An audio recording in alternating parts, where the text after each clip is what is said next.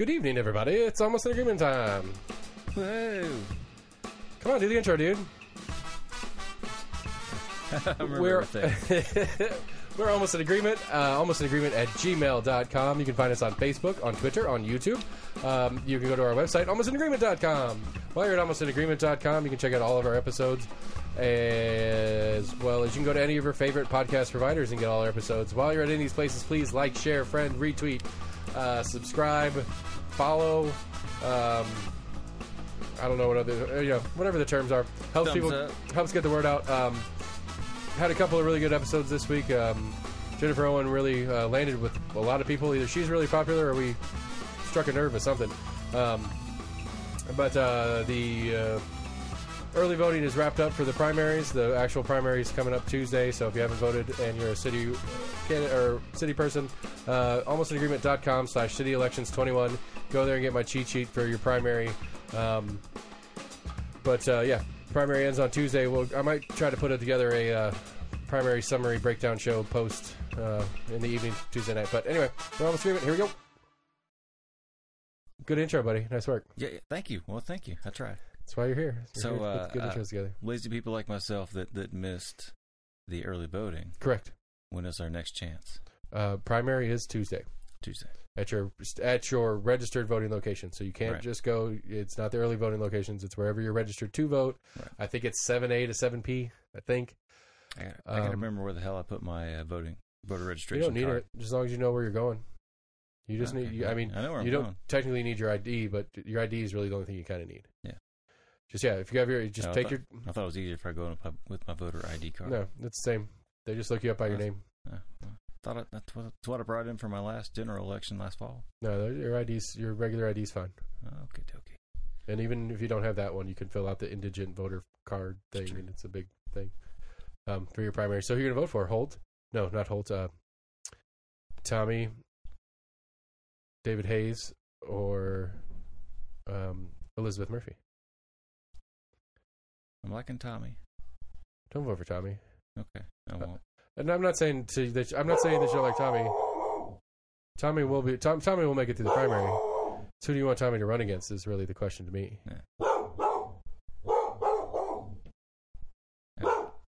My second choice would be David Hayes. Okay. And I'm curious. I mean, I, Yeah. like, God damn it, dog. The fuck is your problem? We stupid. What is your deal tonight, dude? I'm really. You're not allowed to be in podcasts anymore. I'm gonna have to kick you out.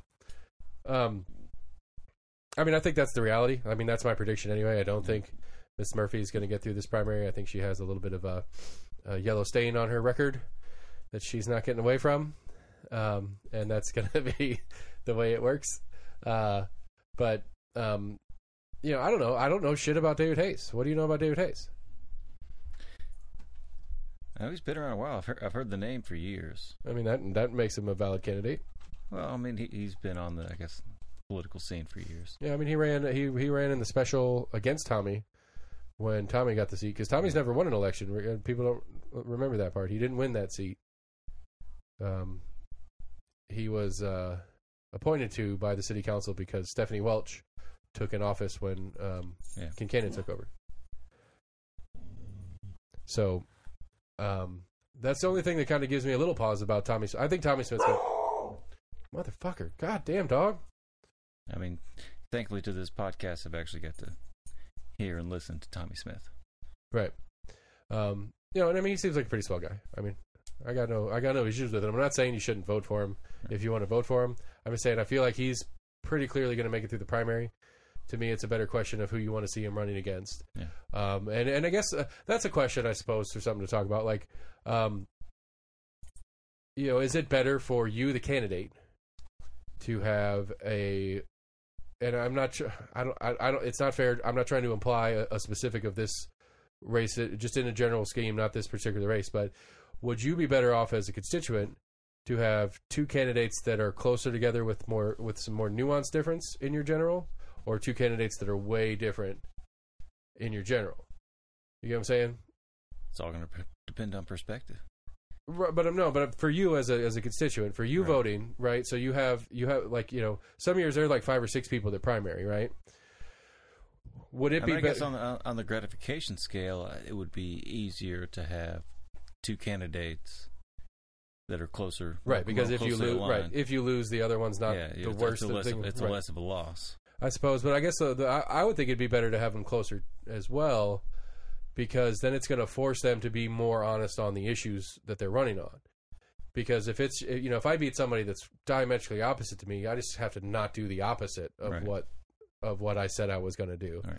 Where if have it's a somebody that's- idea and you've got two differing, two Right. closely differing ways of how to have that good idea that you know you Yeah. would agree on that that good idea, but as far as how to get there, Right. I think I think that would be a that would be a benefit to you as a voter to have candidates that were a little closer together on Right. on, on stuff, and it's Or just close kind of line on the ultimate ultimate goal or main issue. Um, but uh, you know, go into uh, almostinagreement.com slash city elections twenty one. Let's pull up David Hayes' website. See what see what we can learn about David Hayes. Um, actually, I think let me see.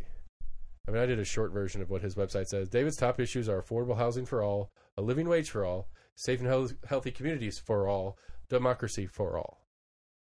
Um, you know, and again, for my whole thing, Very inclusive. Okay, I agree with that. But for my whole thing, um, you know, what does that mean inside the capabilities of the job? Like, you know, uh, affordable income programs, affordable housing programs, or whatever are within the city council's purview. I'm down. Uh, I mean, that's within the job.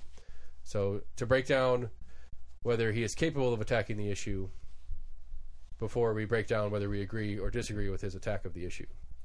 So, to my understanding, there is, you know, um, uh, affordable housing There's- is within the city council's purview of, of Right. things that they can do some stuff with. Right. There's a lot they can do. Yes. As far as Um, permitting and Right. I'm. I don't know if the city council can do anything about a city minimum wage separately from the state. I know that like Seattle or something, a few years back they went up to fifteen dollars an hour way before anybody else did, but it was just Yeah. the city of Seattle. It wasn't the whole state of Washington. all right. I don't know if that's something that's in our charter here or not. Um, they could probably implement it at least for city employees. I suppose, but that's not for all. That's for city employees. Right. I mean, I would. I would. as far as like what what we understand their jurisdiction to be. Right. Um, safe and healthy communities. mm, Yeah, safe would be police, which the um, police and fire, which is within the city's purview. Healthy, I'm not sure. I don't know how much um, the city council can do with health issues. Um, Up the health department's budget. but it's county. It's county office. I don't know that the city contributes to the county health That's, department. true. Um, I mean, there's like the city inspections for like health inspections for businesses and stuff like that. That's is a that, city. is that not a county thing as far as like restaurant inspections? I think there's a city. I think there's a city. I think there's both actually. I think the city Huh. and county both have their own health inspectors for restaurants and stuff like that. Okay. I don't think that's part of the health department per se. I don't know that true, for a fact, Yeah.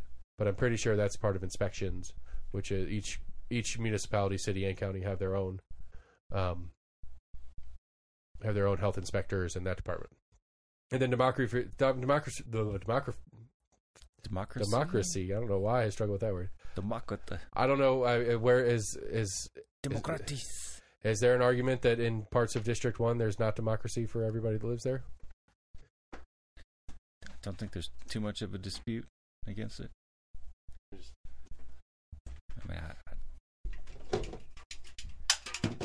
am not really sure. That may have just been like a nice little closing argument. And democracy for all.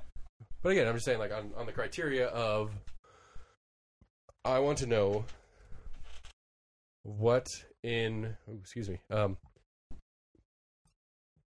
I want to know what you're running on, And justice for all. and I want to know if it's within your the purview of your office. Because again, right.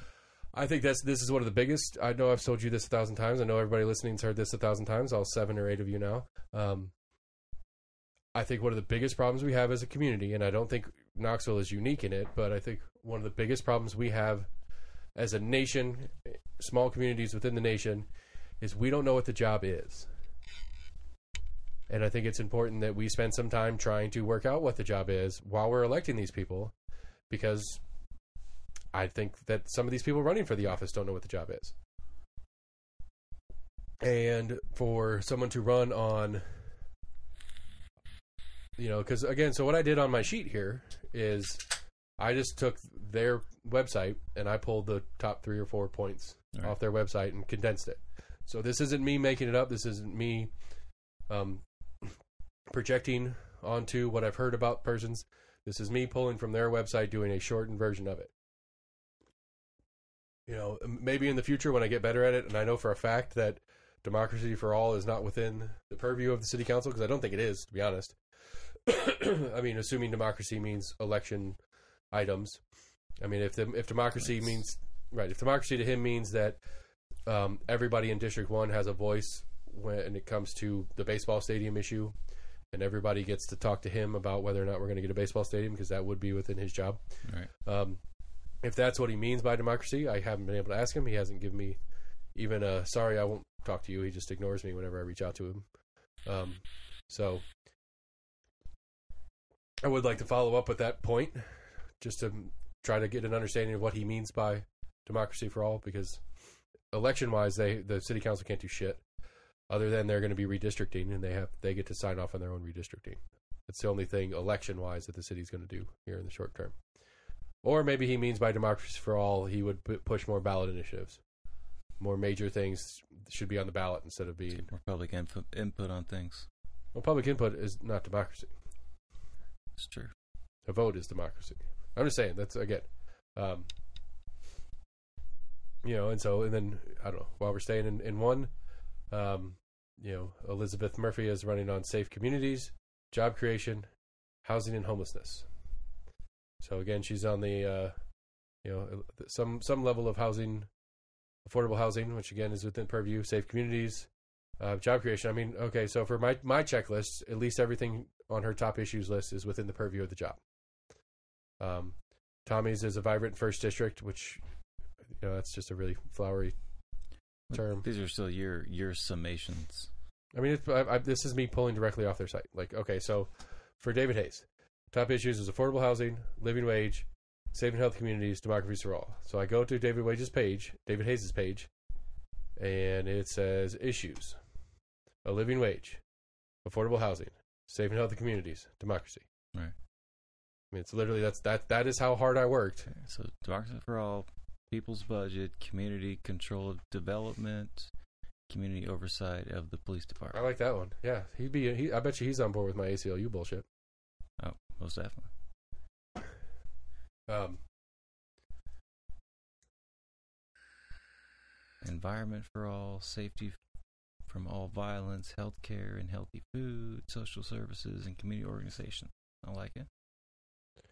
I mean, I don't know. I mean, social services. I don't know what environment. local- what, strong local economy for all. I, I like that. what does environment for all mean? It's kind of yeah, it's kind of a vague. Like we can use like everybody has access to some of the parks and stuff because District One's got probably the most like green space of any of the districts in the city I think so. for sure. I mean, Ijams is down there, and um, was it Fort uh, Port Dickerson Park. Fort, Fort Dickerson Park, and you got all the different like stuff. Green in- space. I mean, that's a Civil War. yeah, but there's I mean the Fort, quarry and all that stuff. There's there's a good bit of woods and stuff around there. Yeah, definitely got a lot of trails. Yeah. I West mean- Knoxville just has like pockets of parks. Yeah, and most of West Knoxville parks are like park parks where it's like swing sets and soccer fields. Not Well, you've got that whole like mix of Carl Cowan parks. that's not in the city. Or is that right? Yeah, sorry. City ends at Pellissippi. Right. Like Lakeshore, but that's not a you know that's a park park. That's not a green space park. Anyway, not the point. Yeah. I'm just pushing back on you saying this is my summation of them. No, it's literally me Right. pulling phrases off of their website. I would call I would call it near near plagiarism. I, what I, did. I didn't know if you were. Didn't realize you were just taking headlines from their thing. yeah, I, I, would, I would I would call it almost plagiarism, Okay. but not quite. Okay. Um, Point taken. So anyway, like for me, I would like you to vote for David Hayes or Elizabeth Murphy just because I would like to see I'd like to see who you think would be a better candidate to run against Tommy Smith because I think Tommy's got I think Tommy's got I think Tommy's going to win the primary, not just get through the primary.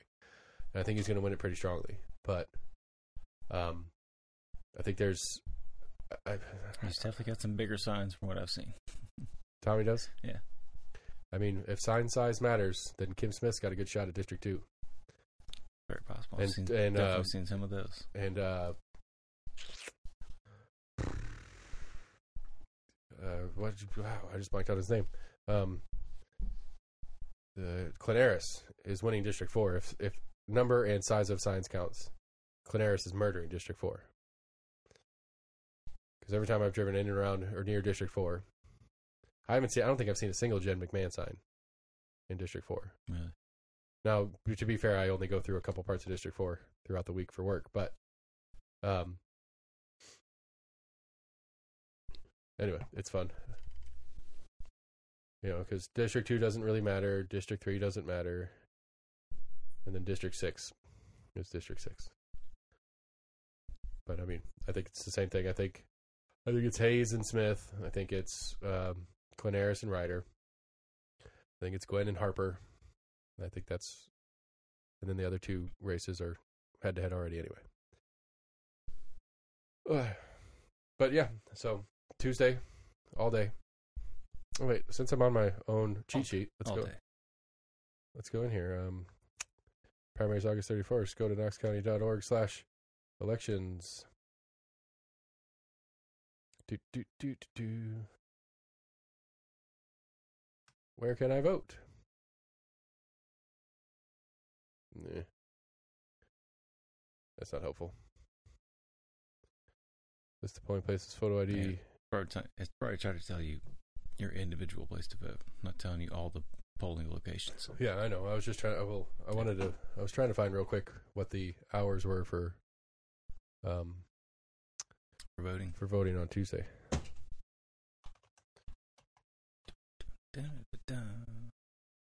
I can type with a taped up finger.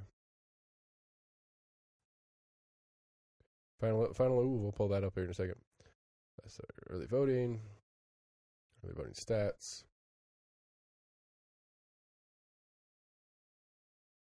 Just exit polls? Oh, it's that chart we looked at last week. Two weeks ago. What do you mean two weeks ago? They just had early voting started. Oh no, they've been, it's they they put it every day. Ah. They put it uh, they put it out every day after, um, after whatever. Oh shit! This isn't going the way I wanted it to. All right. Anyway, so we'll skip ahead to that. Early voting statistics. Oh, that's right, because, um,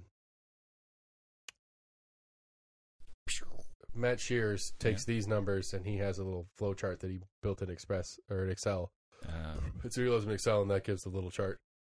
Um, I must be lazy, but uh, I mean the, the the bottom line is, and I don't think it's changed.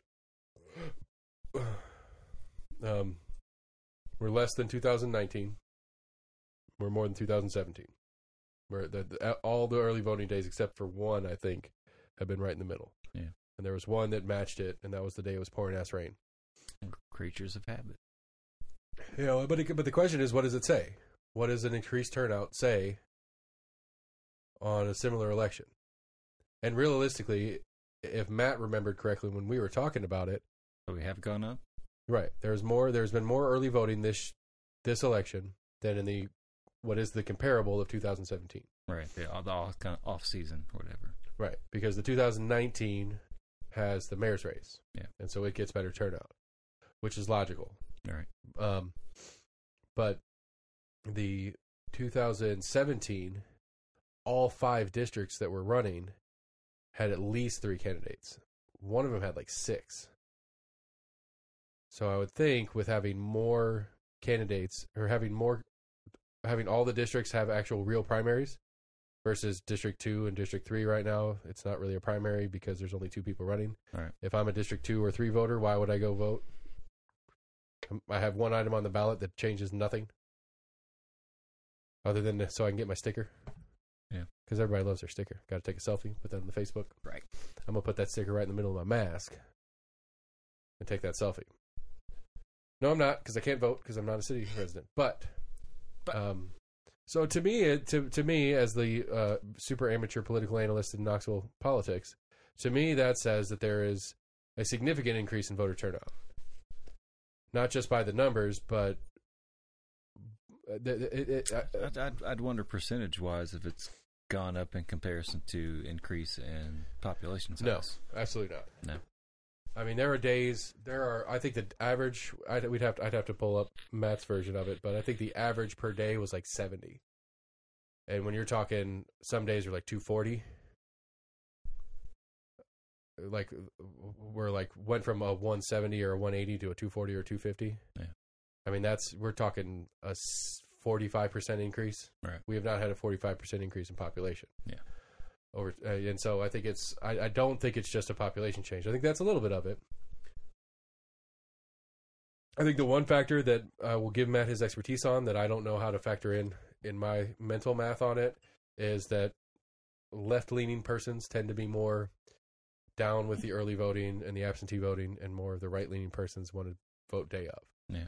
And so, at least in Matt's opinion, this higher turnout is good for the left leaning candidates. I don't want to say his candidates, even though they are, but he doesn't like to say they're his candidates because it's a nonpartisan election. Right.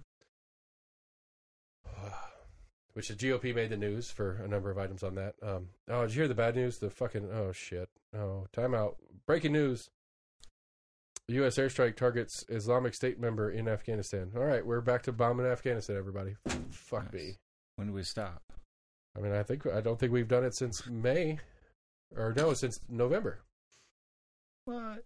Since the fucking whatever deal that Trump put together. On the, Uh, do we do we stop drone strikes? I thought we did. I thought that was Uh, the idea. uh, I could be wrong. I, uh, yeah, I'm I'm I'm not 100. percent We're always doing random drone strikes. You know, I mean, you hear about it in like a little blip. around the world, yes, but I'm just saying in Afghanistan particularly. Right. This was the really. Uh, It's just it goes back and forth between like a spot in Africa or right. Here's my super cynic take on the on the breaking news. Um, Yeah. is that some poor goat farmer just got blasted out of the sky, and we're going to say that was the guy that put together the attack on the Marines in Kabul yesterday, Uh, and that's our. You know, I mean, and honestly, I'm okay with it. I'm okay with it. This like, this just feels so desperate to keep us there.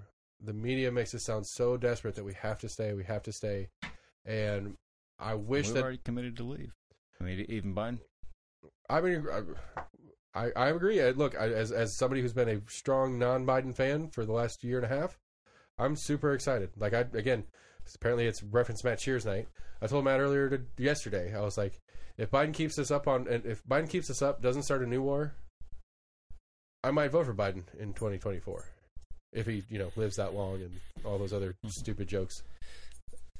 But I mean, realistically, like this is the kind of shit because this is the this is the kind of shit that we haven't had a president president willing to do in our lifetime. Because this is the media, the national security state, the um, the military industrial complex are all leaning as hard as they can to make this the worst possible possible political decision Biden has ever made Right. is to follow through on getting us the fuck out of there. And he's still doing it. And it sucks and it's ugly and he's getting all sorts of shame from all sorts of places. I can't wait. For you guys listening, this will be up after. Um, but tomorrow when I have the GOP guys on, um,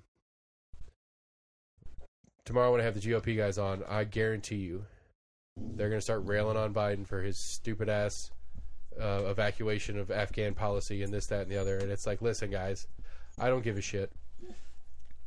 Nobody's gonna done nobody nobody could have done it better or worse. It doesn't matter. This was gonna be a mess, no matter how it happened. Oh yeah.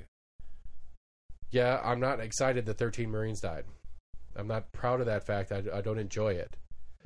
But to be honest, we haven't had an, a U.S. casualty in Afghanistan this year. What do you think happens if we stay another year?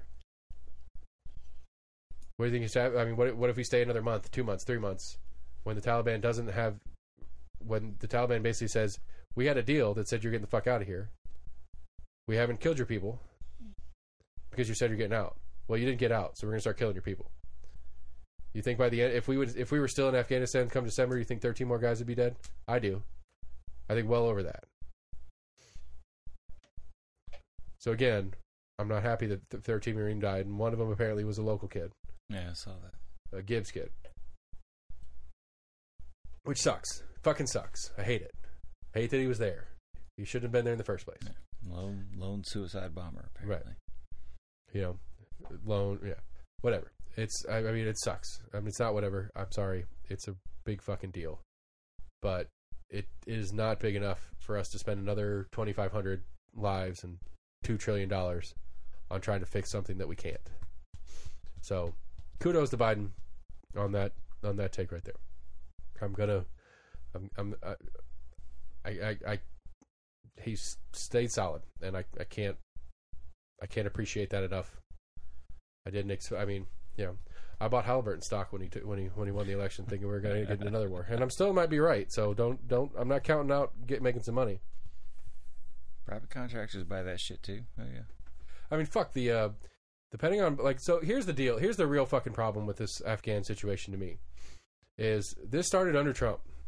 This plan, this idea, the deal that Trump made with the Taliban, that Obama just or that fuck I've done this a couple times. I apologize. That Biden um, said that he was going to stick to has been in place for a while, but the armed forces didn't feel like it was going to happen. They weren't acting like it was going to happen. I saw a list. I don't know if it's real about this amount of shit we left there, like drones, Yeah. Blackhawks, armored Humvees, regular Humvees, fucking trucks and tanks and all sorts of shit that we left there that are now in Taliban control. Um, and it's like, well, if you knew, like, what is it? Uh, was what was what was at the shop yesterday with Devin? Possibly. Um, I was like, if if if you're a kid and your parents say we're moving next year, Yeah. right? We're we're gonna move. Um, Dad got a new job. Mom got a new job. We're gonna move over to this other city, or, or we're gonna buy a bigger, better house. Whatever it is, we're gonna move in six months. You know, so start packing your stuff up. Start getting the things that you don't use, but you want to take to the new house, a new place, or whatever. All of a sudden, the moving truck shows up, and you haven't even started yet. Is that mom's fault or dad's fault that you didn't prepare as you were told to, to do so, or is that your fault as the individual who was told to do a thing? The analogy being that you, the kid in the house, are the armed forces, and the mom and dad are the presidents at the time. Right. Uh, letting you know what's going to happen, prepare for the thing that's going to happen, and then when you don't, you can't get pissed off when you leave all your shit behind. It's not a. It, it's. It's not. I'm not saying it's not Biden's fault on some level. There are some things that I'm sure truly squarely fall on his lap, but on the grand scheme of things, to me, it does not seem that any stretch of the imagination that the armed forces thought they were actually going to leave. I remember seeing that some footage of from uh, Syria when we when we pulled out that there were bases with little mini fridges stocked with like Coca Cola bottles. It was like shot from you know I mean, whatever power like came into it, like taking footage of it. Like, hey, we got I got a fridge full full of Coca Cola. Thanks. I mean, if you're gonna leave something behind, I guess that that Right. Right. I just I don't. I just, I'm so like Uh, yeah, man, that's that's reasonable. Like, all right, you know, we've got a little bit of time to get out. Like, it's not worth us paying the money to box that up, put it on a fucking truck, and ship it out or whatever. I mean, Humvees. Like, Right. did, did someone do a cost benefit analysis of how much it was going to cost them to send it to an I, airport? see. to- That's all right. That that's go ahead. Sorry. no, I mean that's what I was saying. Like, No, I think I think the thought was Biden's not going to make us leave. Hmm. no. I think that's what the thought was. We're gonna we're gonna do what we do. I figure someone just looked at it logistically. no, we're gonna do what we Yeah, do. Like, oh shit, we we forgot like under this timeline, like what it's going to take for us to get all this shit out. Like, fuck it, just leave it. Right. No, I, I don't think so. I think I, I truly think it's they thought that they were going to figure out a way to stay. Yeah. I think the the the the military contractors and stuff like that, the guys that make the big money off of this kind of shit, they thought that they could pull the whatever the thing was to keep us there. And I mean, full tinfoil hat. This is completely conspiracy theory, zero evidence to it. There's part of me that thinks this uh, lone bomber was some CIA plan, was an intentional thing to to re-escalate it to force us to stay. Again, totally making shit up. I have no proof of that. I mean, even after this, Biden is still saying that we're still sticking to our timeline. I agree, and I give Biden all the kudos in the world for sticking to his guns on that. Right. But uh, it's not out of the realm of possibility that the CIA could have done something like that. Whether it was some guy that was an informant for them, that was doing stuff in the field over there, that was helping them out over there, that they pushed to and they pushed to, and they're like, "Hey, go do this." To what end? to keep the war going so that the people that make the money can keep the fucking making the money. Yeah. No, why?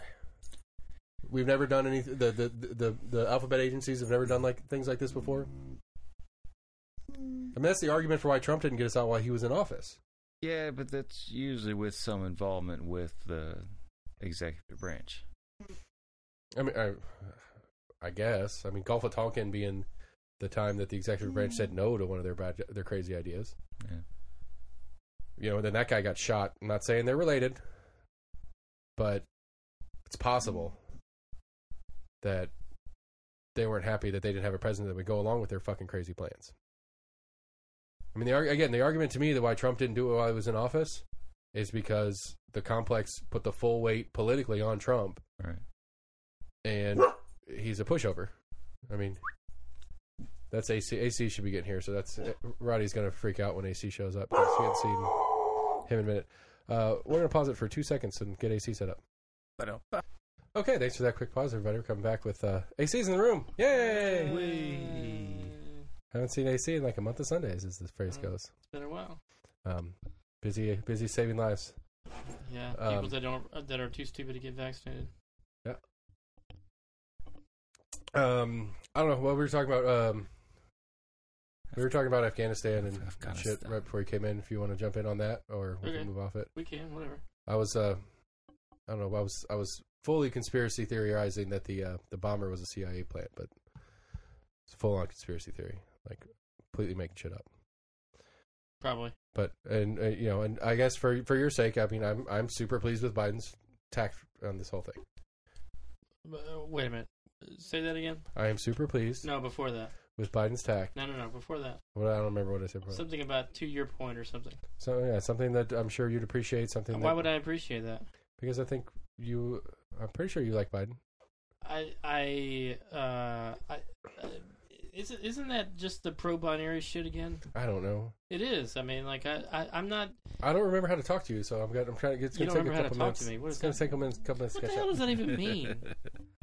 I, but but like just because you uh, may have voted for somebody doesn't mean that they are without criticism. I agree, So and I'm saying just because. Well, I guess what I guess my point then was because I was very critical of Biden in the in the um, in the election portion of things. I'm not too big to not to. I'm not too small that I'm not willing to say, hey, I like what he's doing on this thing. which part? The fact that he's just pulling out no matter what. Yeah, I like that he's full on against uh, the entirety of the the media, throwing every excuse to stay at him. It's like, nope, we're out of here. Especially with the events of yesterday. It's not an accident that uh, the military-industrial complex is uh, massive, and at the same time, so is our media. Right. Uh, the lines that blur those two uh, are are a little blurrier than we care to admit. For sure. I mean, like I always make my joke, and I know I've said this a thousand times. Is six thirty six six thirty in the evening? You're watching NBC Nightly News. Watch the commercials. Like, pay attention to what the commercials are. It's all it's it's big pharma ads, and every once in a while, my my favorite's always there's a there's always like a Boeing ad, or um, a Lockheed Martin ad somewhere in randomly. It's like why the like realistically why on the planet is Lockheed Martin advertising on to anybody in the public? Like who who out there is going? Oh, I mean, I'm a, I'm a, I'm a Delta exec. I was just catching up on the news. We need some new airplanes. That reminded me. No, that's like not, that's that, that's not why they're advertising on there. why are they advertising on there? They're advertising on there because they want the news to do what they want the news to do. I can't imagine another reason.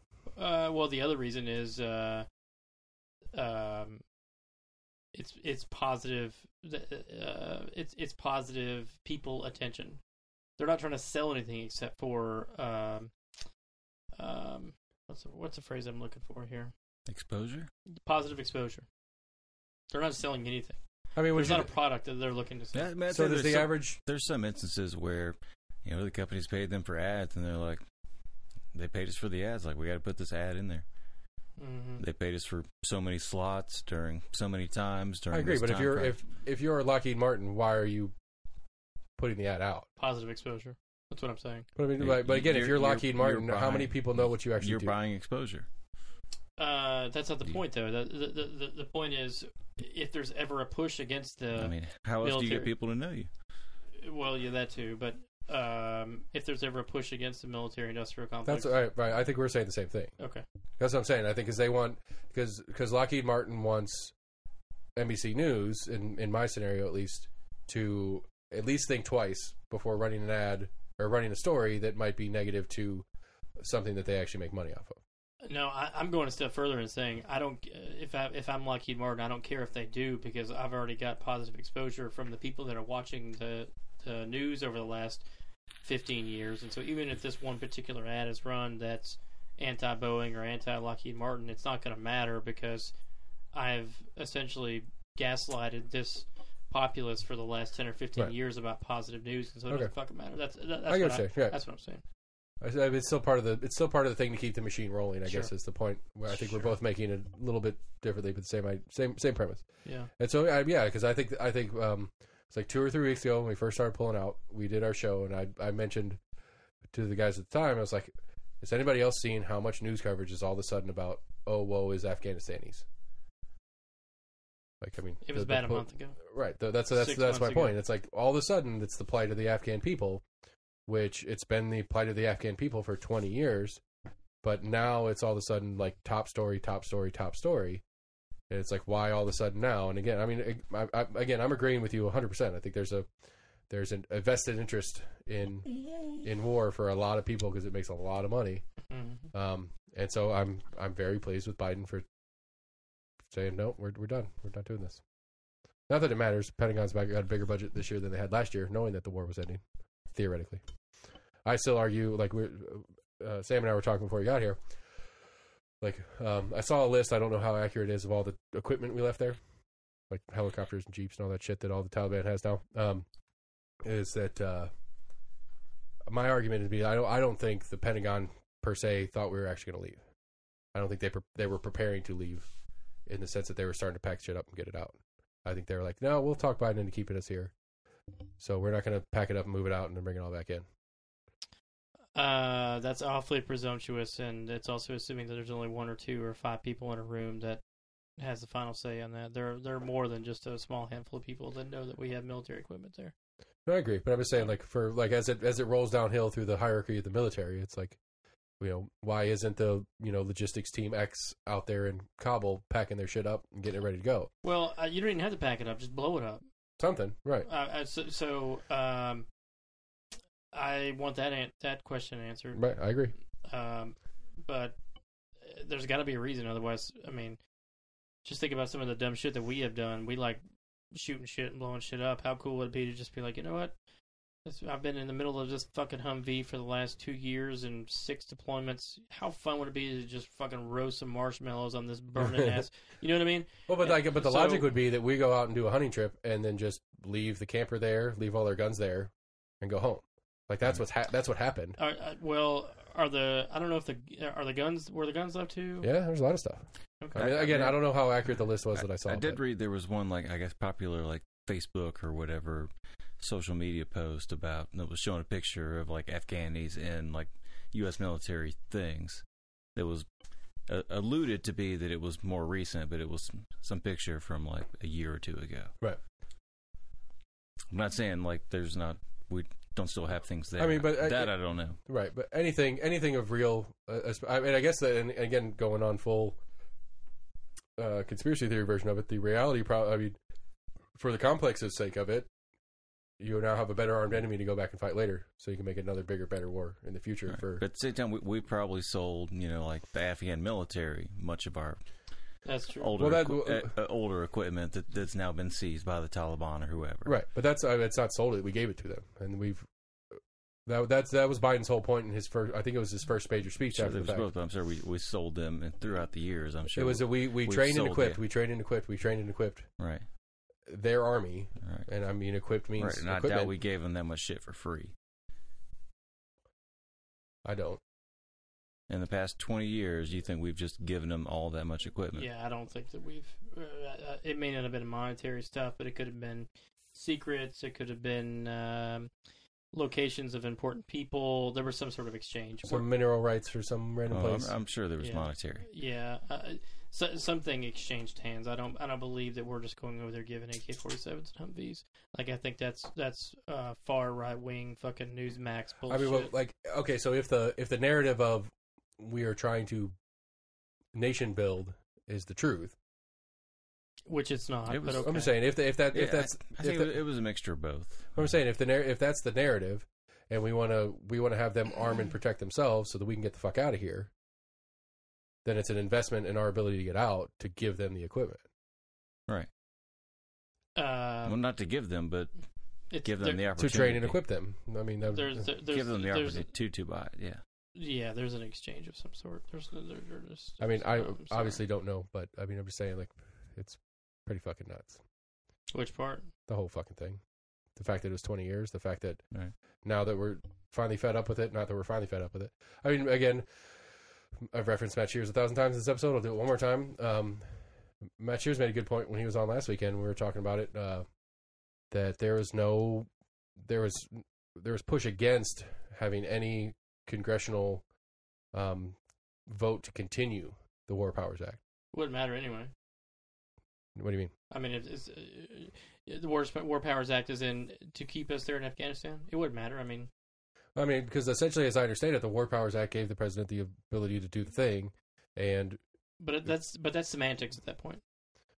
but at least it's I mean, it's I guess it is. Yes, I agree. It's semantics, but it, it would also have a there. there it would it would add a political layer to the push for and against. I, I, I It'd mean, be at least a campaign point for people to be like, you know, we had the War Powers Act vote, and I voted against it this time, and I mean, sh- uh, sure, but why bother with that? At, I mean, the, the election is not tomorrow. I mean, you do that in the election year. You don't do yeah, that. but I mean, how many years election years did we have over the last twenty years? I don't know what that has to do with it. I mean, there's plenty of people that got elected on and off in, in, in the whole during the whole process that could have used that as a political point if it ever came up. But it, again, according to Matt, at least it was actively avoided. There was conversation about it, and then it was pushed. Well, there was a. I mean, uh, who knew that this was that this was going to be the reaction to it? We picked other things to vote on versus just what was going on in Afghanistan. Yeah, I mean, I agree with that too. I mean, what what else are you gonna? I mean, like, there's a ton of stuff to misdirect Right. the the average voter, and just because they haven't done it doesn't mean that you know it wasn't a winnable strategy. I would argue that it isn't, but you know, whatever. Yeah. I don't know. Anyway, Which is why it wasn't done. go Biden. Yay, get us out of there. I, I don't I, I don't you know I, I don't I don't dig my heels into whether or not Biden is you know amazing or not. I, I, I can criticize him for X, Y, and Z and still say yeah, I voted for him. Right. I think it's a I larger mean, you're right, and I think there's other things that we can criticize him for, but I think this one, I'm, I personally am in favor of this action and his um, being steadfast on it. Like, we're out, we're done, we're getting, we're done. I mean, as far as like the war powers, it's just kind of like that that weird area of you know. we have that if something were to happen, we want you know to be able to respond quickly and not have to go through the bureaucratic bureaucratic process of having Congress vote on it. But at the same time, you know, we want there to be a more collective voice on voting whether or not to send Right. troops into harm's way. And the reality is, we There's did. that, that, that kind of duality of that that near knee, knee jerk reaction, but at the same time, like logical reaction to something that happened. Right. And the reality is, at some level, Congress did vote on it 20 times. Right. They approved budgets every year that included a massive Pentagon budget every year. Right. That at some point you could have hamstringed the effort enough that they would have had to, the president would have had to pull out because they didn't have the stuff to do the to do the job, whatever the job theoretically was. But I I I would um we'll be back within 12 15 I think you're right. Absolutely. I'm not selling my. uh Hopefully, more unilateral. I'm not I mean, selling any of my my war company stocks. I'm gonna hold on to them. I mean, that's, might buy a few more. that's always my issue. I mean, if you want to inject yourself into you know a global conflict, you really need to go in multilaterally, in, in, in a UN type situation. I don't. I mean, for this one, I don't know if that would have helped, but I give. I I don't disagree with you. I'm just saying I don't know if it would have changed the eventual outcome. I think it would have been. A, it would have been. A, it would have been the same conversation of attrition. How many people are going to stick around for as long as it takes to do the job, which apparently is forever. You know, how many other countries are going to continue to I pour don't know if money it like it? lessens the blowback to where you know it doesn't point the finger at like one party. It points the finger, and I guess maybe maybe more acceptable even among the among the the citizens themselves. Like it's not just one country saying like, "Hey, you guys can't be doing this shit." It's Right, a and then it, collection of, of of countries that are coming and saying like, "Hey, like this is not how we do things." right but it could, I mean, yeah, and it could open. The, it it opens the door. Well, Germany wants out, so I guess we'll all get out. Like You know, if if it's if it's a collective of countries, when portions of that collective start being like, you know what, this is costing too much. It's not doing any real good. Let's get out of here. It makes it a collective escape, and so we can, you know, pass the buck as far as blame on why we didn't finish the job that way too. It works both ways, I guess. Is what I'm saying. Yeah, possibly. yeah. Google the uh, most profitable item in Afghanistan. I'm not a smart guy. I'm not really sure why we just haven't decided to fucking bomb the shit out of these fields. Oh, yeah, I get what you're saying. I don't. I just don't get it. I thought I remember seeing years ago there was like a major natural gas pipeline that, that ran through Afghanistan. I mean, I mean, the, I at mean, least you- the you have- narrative, the You narrative have that poppy, which I mean, you've got you know morphine, opiate type things. Because that was one thing, like you know, 10, 15 years ago, was trying to persuade these farmers to stop growing opium and grow other things. Is that legal? Well, I guess legal in the international sense. I suppose. they were the 18th largest world producer of grapes in 2018. I mean, I get, I, I, I, follow where you're going with it, but I mean, yeah, I mean, that's like I, I made that joke, I guess, to somebody. It's like if you want to fix it, you just turn the desert into glass and start over. There's no, there's no, there, there's Easier said than done. Well, it, no, I think it's easier done than said. Really, it's if you get down to the technical parts of it, but like morally, you talking no. about, like dropping napalm, turning sand into glass. I'm not thinking napalm, Yeah. but Wha- wha- So, what's our goal? what? What's our goal there? What is I think that was the main. our goal in this conversation, or our goal in Sure. Afghanistan? Sure. Uh, pick one. Uh, whichever one you get to first. I don't. I don't know. I, don't- I don't know what our goal in Afghanistan was. Nobody does. And I think that, that that was that right there is the core issue. Yeah. we didn't go in there with Well- a plan. It was initially to try to find Osama bin Laden, and it kind of like turned into other things, Let let me back up. other actually. reasons to, to fight the war on terror. I, I so um I, I I'm giving them a pass. We we knew why we were there. We were there to feed the system. That's why we're there. I agree. And you you can get public opinion behind it because you can redirect and convince. Right. We had a specific blah, blah, blah. event that made it real easy to Right. push opinion. Right. At the, at the end of the day, we we were there for reasons that we already understand. Beware the military-industrial complex. That's why we're there. Wasn't And there a? I'm sorry. Wasn't there a? Um, oh God, this might this might have been an Alex Jones thing, so I apologize. But wasn't there? No, th- there was a. Um, there was like the the playbook for the the um the rebuilding of the Middle East or whatever that went through, and it's like we're going to go invade this country, we're going to do this in this country, and it's like it went down the list, and we've and like Afghanistan was like part of the halfway down the list, including like Syria and this other shit. I don't know what you're talking about. So That's probably definitely doesn't change an the Alex Jones thing. It might have been, but it doesn't change the premise of where where AC was going, and I apologize for interrupting.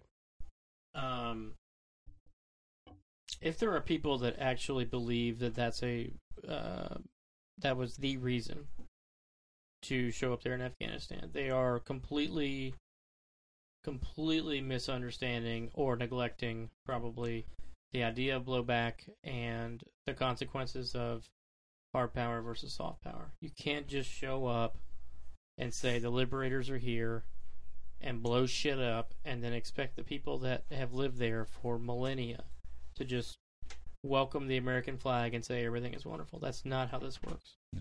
Because, like, imagine if North Korea showed up here, bombed this place to hell, or like the major cities, and then what? All of a sudden, we are supposed to follow North Korean culture? Like, that's not how this works. So, um, it's disingenuous. It's naive at best and disingenuous in reality. Definitely. Doesn't make any sense to me. And anybody who has any sort of Especially, yeah, coming in there like you guys are thinking totally wrong. You should think like this. And I they're mean- like, well, no, we've we have no concept of the way you think like that. Right, right, I mean, again, like it. it That is totally foreign to us. Sure, China shows up and the, and China bombs L.A., Chicago, uh, Detroit, New York City, Dallas, uh, a number of other cities, and they just bring the damn Red Army in here. All of a sudden, we're going to be speaking Chinese in less than five years, and we're going to be reading, you know, uh, manifestos about their greatest they're great communist rulers. Like that's not how Yeah. this works. I mean, I, I wonder that sometimes is if if that's one thing that's kind of changed the the American ideal of things is we've kind of been this island with two large oceans on either side of us that has never in the past, you know, at least 100 150 years any kind of concept of another foreign power coming through and taking power Right. And totally changing the way your your, your government was. So then I was mean, we've got like the Civil War was our last like great war that was fought on our so- on our soil. I mean, dep- outside of that, I mean, like, we, we had the, the I mean, most of Europe. the January 6th debacle. I mean, Napoleon took over most of Europe. That was all French. You had Germanic. A little bit before that, but uh, Right, and you have both world war, both, Both world, world wars, wars. which were Germany trying going to back take and over all forth. Europe. Cold War with the Soviet Union extending their reach. Which really wasn't you a had war. World War II. You had Japan going into uh, occupying much of China and most of the Southeast Asia. Britain was in India up until 60s, 70s, till Gandhi essentially led the revolt. I mean, much of the world was kind of controlled by like other powers having a say on what was going on in your thing. You, had, you still had up until you know late 1800s most of Africa was either French, Dutch, not so much Spanish, but English controlled. Same with South America. Mostly Spanish controlled up until a certain point, until there was a revolt of that kind of imperial power. hmm So Americans then were able to do it a little bit earlier. I asked this semi-facetiously. What was the point? Why did we go there? I told you the point. I mean, I'm, I'm, I'm, I pretty much agree with you. I'm just Military industrial complex. Period. make people money. Well, more importantly, make make uh, make connected, uh, well-adjusted, well-informed people money, while the uh, arguably the the lower class individuals who are the essentially the foot soldiers are the ones that and their families. Right. And all you get is some fucking bullshit. 21 gun salute ceremony with a flag that's, you know, folded and then they're forgotten four days later. That's how this works. Yep. It is. I think. I mean, uh, uh, again, I, I, I 100% agree with you. I mean, I really do. Um, so on that note, um, the Tennessee Power Poll. I don't know. if You guys are familiar with what the Power Poll is? Nope. Apparently, I don't. I don't know exactly how you get on the list of people they power poll. Like it's a um, percentage of persons, um, but uh, a, a significant percentage basically said that we are we are in the beginning of the fall of Rome. That's what they're That's They- not a with the- novel concept. That's been going like that sort of thinking. Uh, there were some classes I was taking before I got into healthcare that was saying the same thing. Um, so it's not it's not necessarily a new thing. I agree with it, uh, but it's not necessarily a new concept or a new idea. right. I agree. I, I I know it's not a new idea, but um, so I was thinking about it earlier today is what happened to the I don't know the uh, is it an olive olive farmer? Are they farmers for olives? Or are they rancher? What's what's the title? The the, the guy that grew Rancher. olives. Olive farmer, yeah. Right, the guy that grew olives out in some rural portion of Italy when when Rome fell. What happened to him? Is that a real question? He stayed in business. He just had a different person over him that was buying that from him. Probably. I guess that's the that's that that's yeah that's what I'm pushing at. The idea is that okay, so Or maybe who owned his land, all of a sudden they may have come in and said, Oh, somebody else owns this land now. You don't own this land anymore. Right. That's I mean that's that, that's possible. I, I guess the the, my, the the reason I bring it up, I guess, is the idea that if this is the quote fall of Rome, if if the United States empire is starting to crumble, what happens to us? We haven't spread that far, but yeah. Nothing. That's kind of where I'm at. Nothing happened.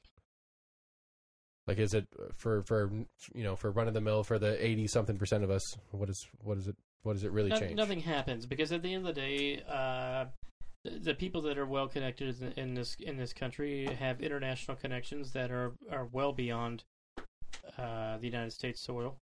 Um money in different markets internationally. Mm. Uh, the idea that uh, America is in the decline really only matters for the the lower class, maybe lower middle class folks to sit there and have intellectual masturbation comments about. It it it it uh, only matters in that scenario.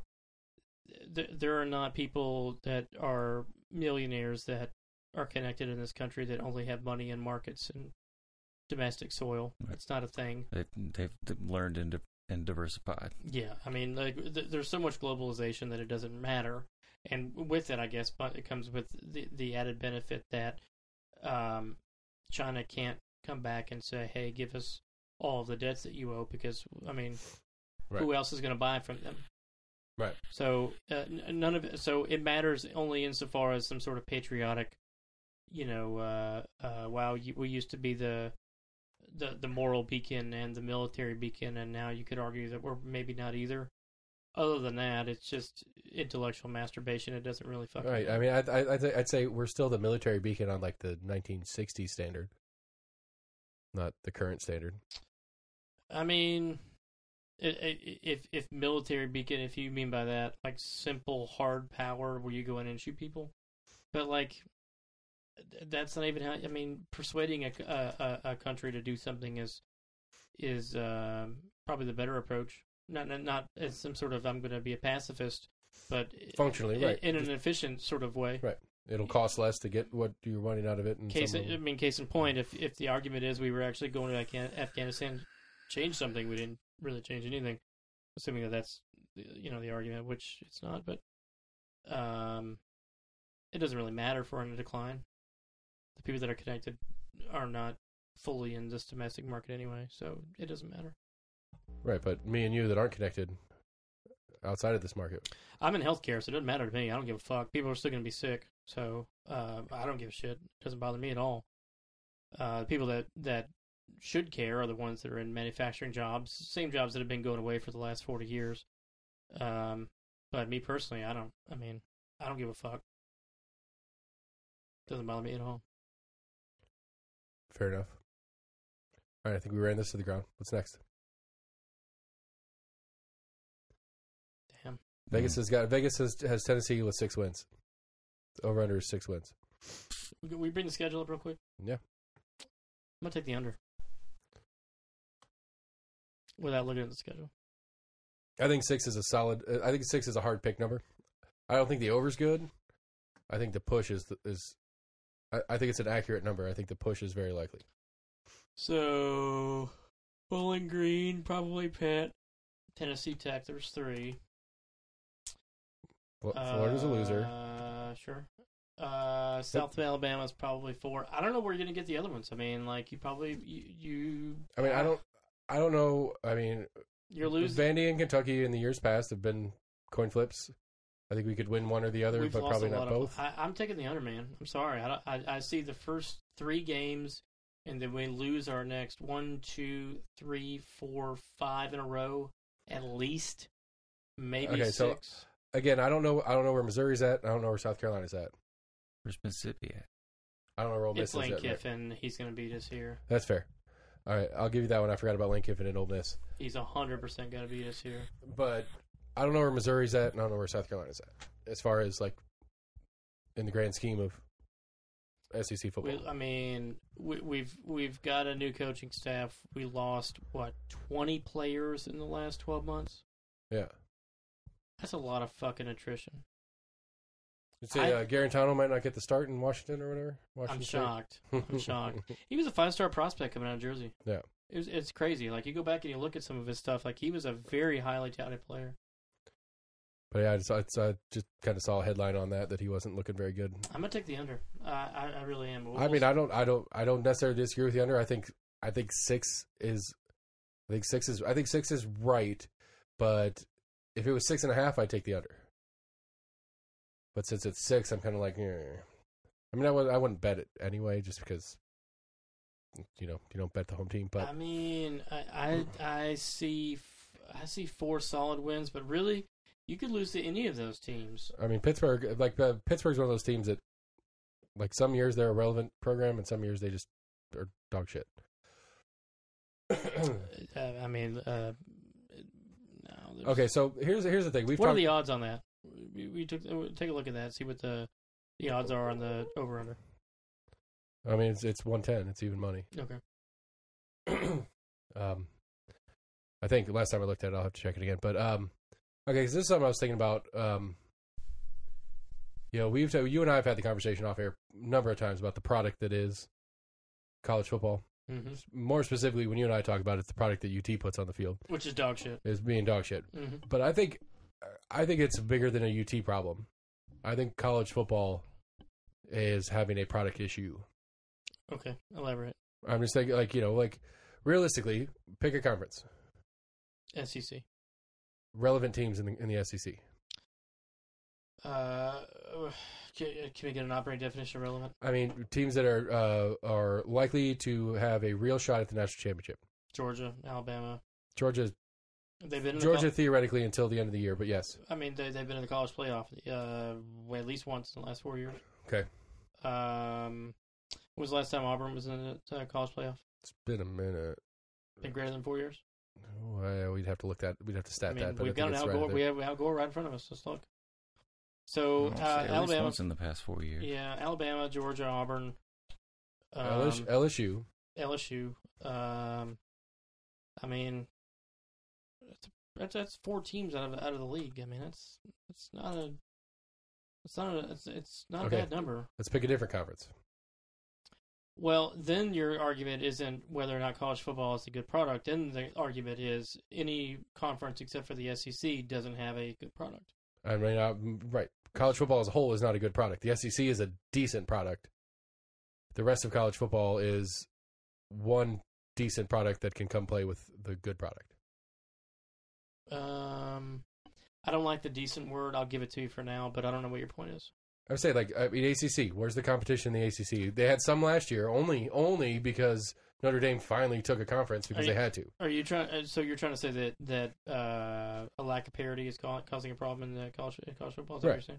I mean, I think I, I, I think if, if college football was a good product, the idea that an undefeated team exists would be an excited rarity, not a requirement to make the playoff, or a near requirement to make the playoff. I would imagine that this that there there have been uh, relatively the same number of undefeated teams in the last five years as there were twenty to twenty five years ago. I, I mean, that, that that'd be a good stats question too. I, I don't I don't think that that number has really changed. I really don't. I, I don't think it's it's about. I, I think you're arguing parity. I don't think you're arguing win, wins and losses. Because we've had a number of times where where we've had a uh, non-power conference team be undefeated and they were disregarded. right. I'm not saying they should or shouldn't be disregarded. I'm just saying that it's happened, and so I I think you're arguing parity, not necessarily. Uh, I, I, I think that's fair because I think to me, I guess parity implies quality product. I don't agree with that. So what is? I mean, what is a quality product in football then to you? Um, I don't, I don't know. You're the one saying that uh, college football is, is not a good product. So I, I, I don't. I, I would argue that uh, the atmosphere is a good product, and if a team is uh, consistently less than 500, that's not a good product. Anything other than that, I'm not really. I, I'm not ready to say college football as a whole is a bad product. Um, Tennessee football has been a bad product for a while because the what you see on the field is terrible. You're down by 27, and you uh, kick a field goal. You're now down by 24, and you hear Rocky Top, and it's in the second quarter, and people are crazy, and that's absurd to me. Uh, that's a bad product, but clearly it isn't a bad product because people are buying it. Right. So um, it's a it, it's it's a long set of uh, you need to define you know what quality product is, what parity is, what a bunch of this shit is about. That's the only way we're actually able to get. Right. I mean, okay. So for me, I think I think, um, uh, what's the word? I, I think parity is is probably I guess the best word um, that's coming to mind at the time for probably if I'm going to put a couple of characteristics on what a quality product is. I like the premise of I think this team's going to win, but it wouldn't be like world changing if they didn't. You know, like it's one of those like you know like the the, the App State beating Michigan a couple years back, like what fucking uh, guys like eight years ago now or whatever. It's probably a little bit longer than that. But yeah. you know, like that one being like so anomalous for what it was. But especially back then, App State was a Division two school too, which that's a separate subcontext. But like the idea that, um, you know, how I mean, you know, even pre-tournament era, you know, Vandy is an SEC school, Kentucky is an SEC school, and if they win an SEC game, probably against the other one, that is like a super good year for them regularly. Like that's just not you know, you know the it's idea. always been that way though. I agree. I'm not, I'm not saying it, it hasn't, but I'm just saying like there's not um, there's there's a there's a sense that games are given and we still watch them. That's what I don't like. That's what I don't like about college ball. Like we're still going to watch Alabama play um, Utah State. I don't know if that's a good example, but you know we're still going to watch Alabama play Utah State when it's a 47 point spread. It's because you're watching uh, minor league football at that point. That's why that's a decent product. I, I okay. I'm saying like I don't know. I guess you know like who has been a relevant team outside of like there's been like six teams in the last ten years that really count. I mean, you know, and then every once in a while we have another.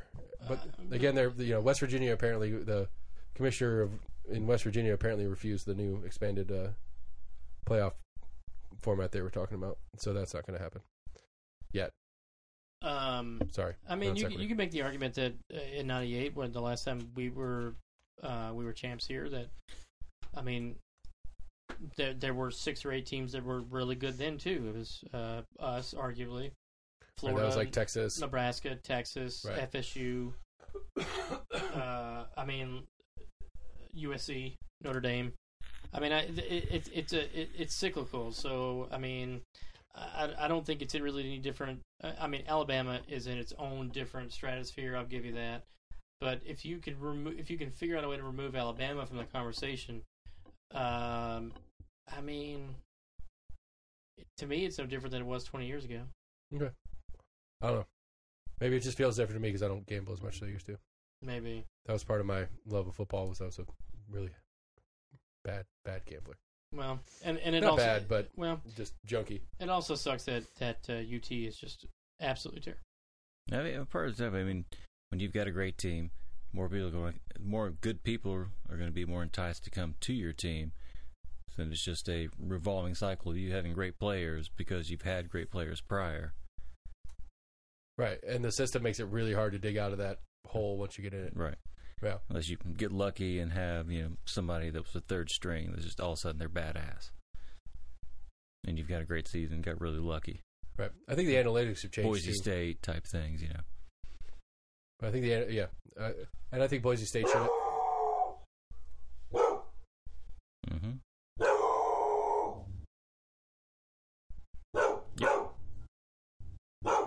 See Barker, Why? your fence?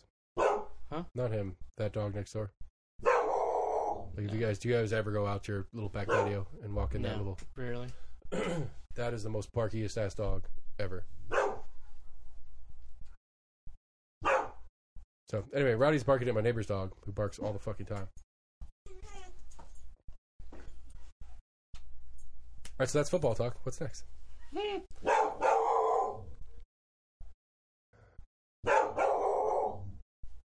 Really, really not having it tonight, Rowdy. I really don't like your your tude. You seem on edge. Do it. You seem on edge. I mean, I don't like my dog barking in the podcast. That that gets me a little. all up in- I mean, you can cut this out. It's not that big of a deal. So we're not saying anything important anyway. It is it is a little bit of work, but I can do it. I'm special like that. Yeah, I know. I'm aware. oh, oh, okay. So here's one. Um, I gotta go find it again. Do do do do do. You gonna have them read it? Yeah, I'm gonna try to do this without uh, um, influence, pre-influence on accident. Pre-influence on. All right. So have you been paying? I mean, obviously you've been paying attention to COVID situation and stuff like that. Have you pay, Mhm. uh, like the school board stuff that's going on? Uh, it it's uh it, it's nonsense. Most of it is. Okay. What do you mean by that? Elaborate. Uh, I'm just I'm I'm sick of the uh, political uh, the uh,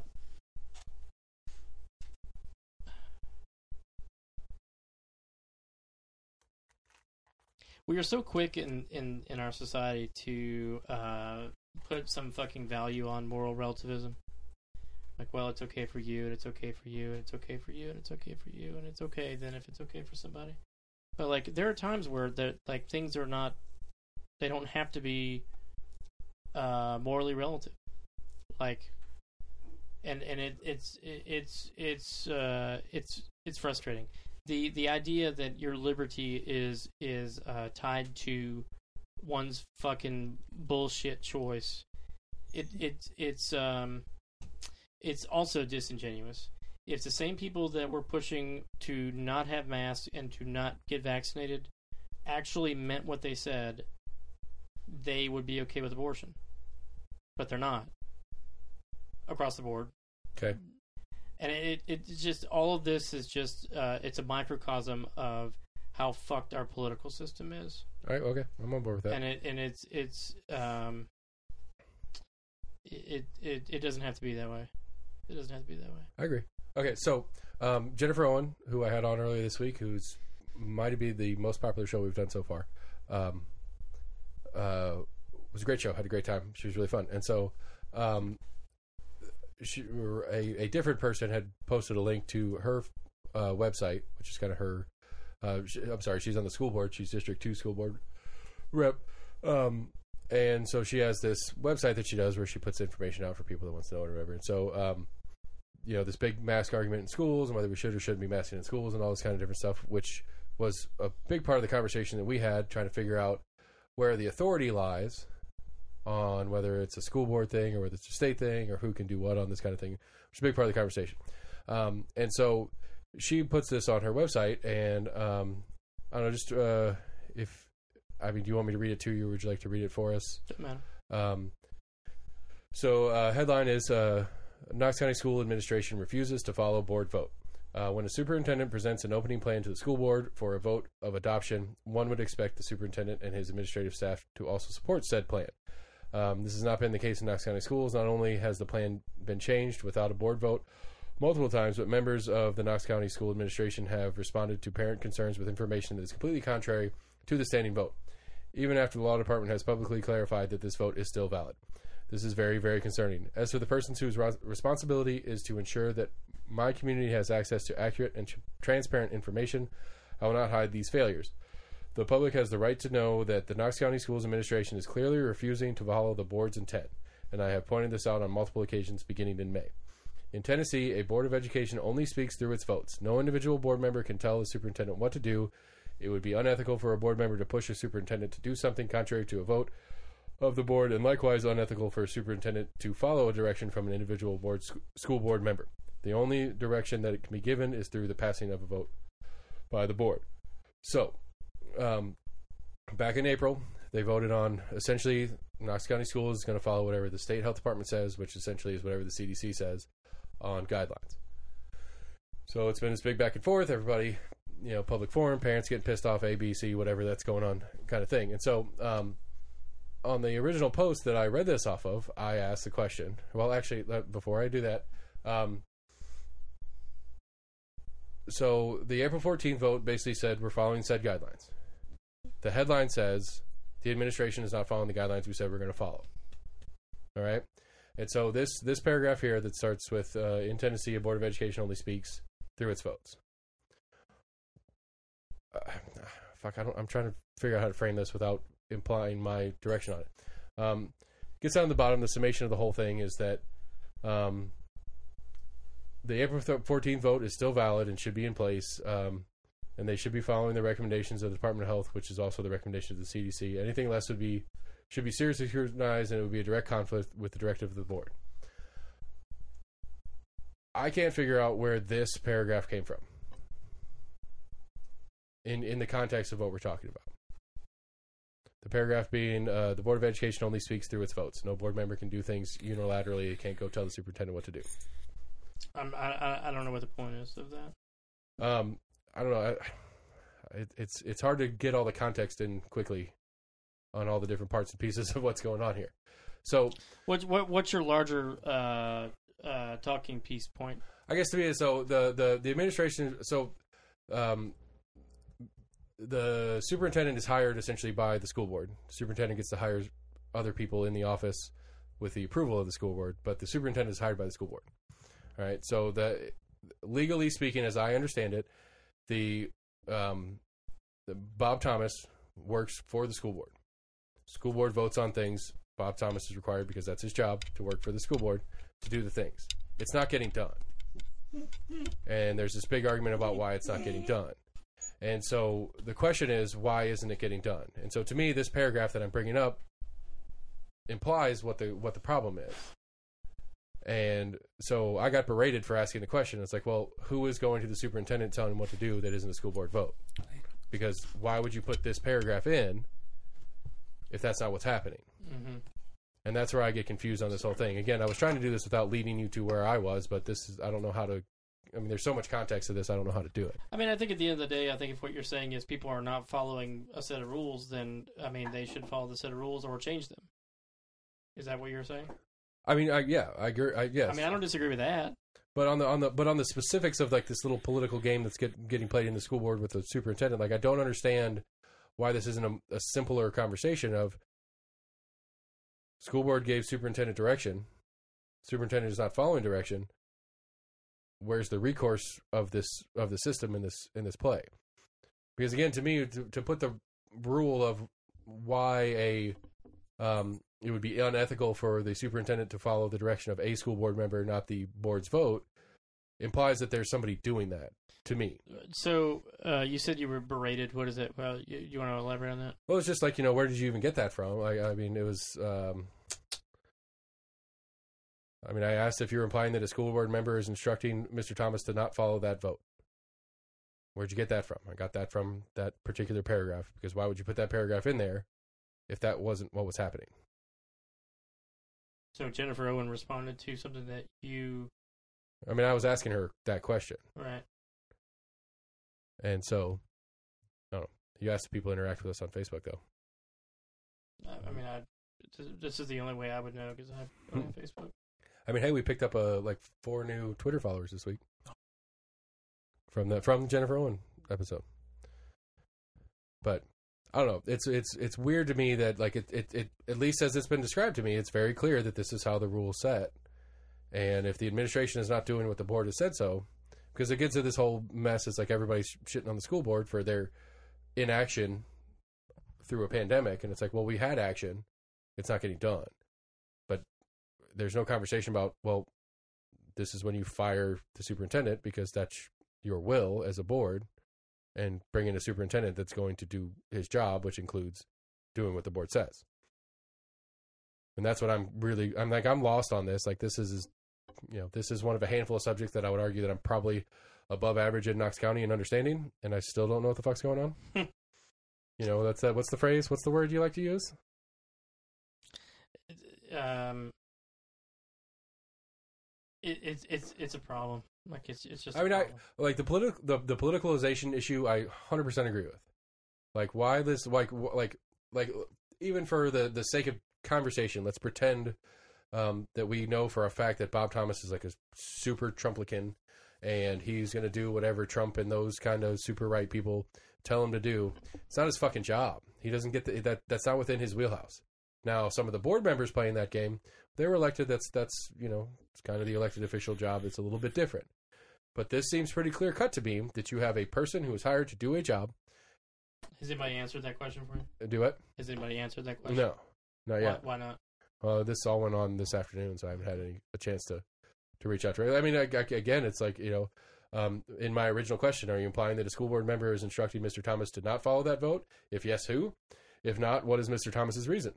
Is there confusion, conflicting policy between state and local that be causing this incongruent behavior? I was really proud of myself for the use of incongruent in a sentence. Yeah, but did you spell it right? I don't know, did I? You're looking at I, I can't see it. I, there's a ton of. I N C O N G R U E N T. Incongruent. yeah, I that's mean, I didn't get a red squiggly line when I Yeah, wrote it, so that's, that's, That's what right. I'd Good say. job. so if it's not spelled right, it's some other word that I did spell right that looks a lot like it. Which would have been better. it's it's very possible. I'm not. This is that yeah. Hey, this is this is that Knox County education at work, people. Just what that geometry. Incongruent. But I mean, it's just I don't know. It's it's That's it- That's a good joke, actually. I like. It was good. He, Sam, Sam woke up for that joke. Everybody, That's good. he almost pulled a Max and fell asleep on it. psh, I fall asleep on you. He's sitting in Max's chair, so he's nodding off. I'm just fucking over this COVID shit. I I'm agree. Just, I'm fucking over it. I'm um. I mean, it, realistically, it, it seems like the world in general is. No, it's it's different. It's different in healthcare. I want it to be over, but No, I, I'm. I'm just fucking over it. You gonna travel any? Are they out there? I, okay, maybe not that. Maybe not the direct question, but They're out there. like, have you seen them out there? Like big, big ones yeah, like it's like before? nine, it's like nine grand. Yeah. Not surprised. I figured like I saw like some of the different stuff going on. Was it like uh, we're just right here up in uh I mean, there was it was huge burnout, you know, last year. A lot of those Well- people just never came back. They were like, "Never mind." It's worse now though because the people that are showing up now are overwhelmingly unvaccinated and young. And um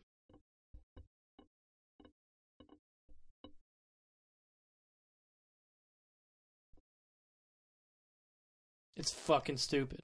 I love you. It's fucking stupid. Stupid. Like like all the times that I've ever joked with you, it's just fucking dumb. It just is, man. I don't fucking get it. Okay. I just don't. You're way fucking smarter than that.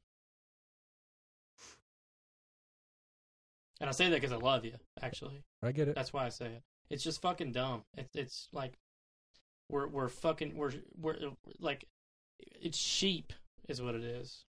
Like we get a polio vaccine, we get an MMR vaccine, we do all this shit we go to fucking school with.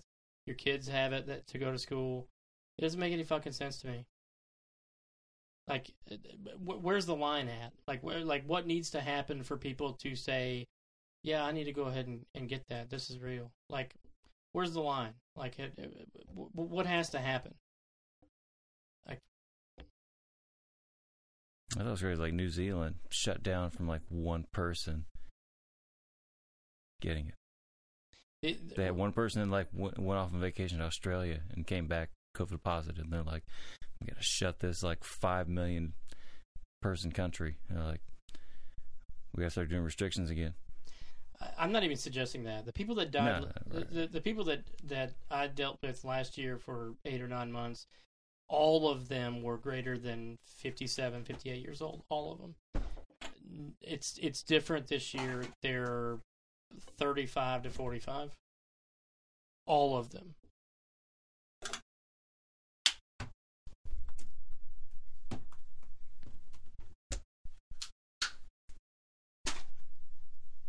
It's it's gotten younger. The average has gotten younger.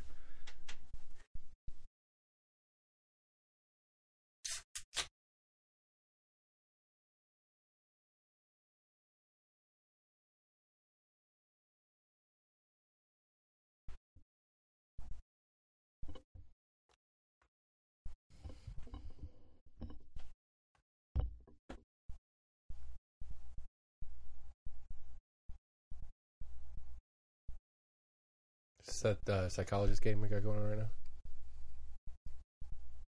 Huh? Hmm? Is that psychiatrist, It's- psychologist It's game? just reverse psychology. No, it's a, we're we're all gonna wait. Yeah. Nobody wants to be the first one to talk. Ah, I, I've heard, I mean, I'm looking for a different time. shut up. Braves won today. That's good. Yeah. Pretty sure uh, Brewers are top of the league right now. They're top like three or four, and you The National League. Yeah.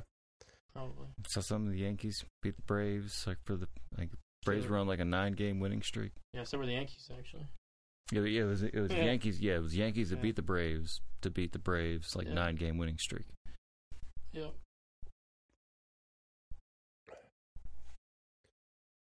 can't do it. Just Yeah. can't get back into baseball. My Braves have been good, or my Braves, my Brewers have been good for the last couple of years, and I just don't care. I- Can't get back. I, I lost interest in baseball years ago. Yeah, me too. 90, 94, 90, 94 didn't have 90 93, Series. 94. Uh, you mean the strike? Yeah. Mm. That's because that's when I wanted to be a baseball player, and I, you know, couldn't figure out. I couldn't understand like, what money, what? Play fucking baseball. Shut up. I've never Yeah. gotten. I've never gotten over that. Don't you want to play? The collective bargaining agreement, I think, is up at the end of this year anyway. So you may you, you may have a strike. Again, Yeah, maybe. Yay! Yeah, there's there's some chatter about it.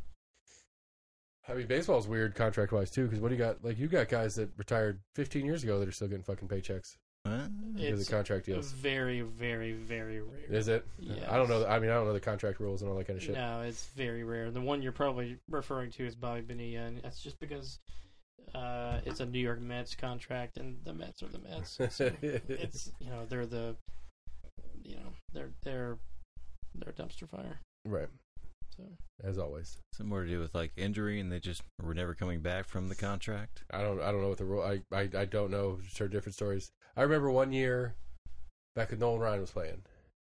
No, Roger Clemens. Excuse me. Um, when I think he was like closing. I think he was closing for either Boston or New York late in his career. Um, uh, me and a couple buddies of mine, we did the math. And it's like you know, like he averaged like twenty-seven pitches a game or thirty-two pitches a game, something ridiculously low.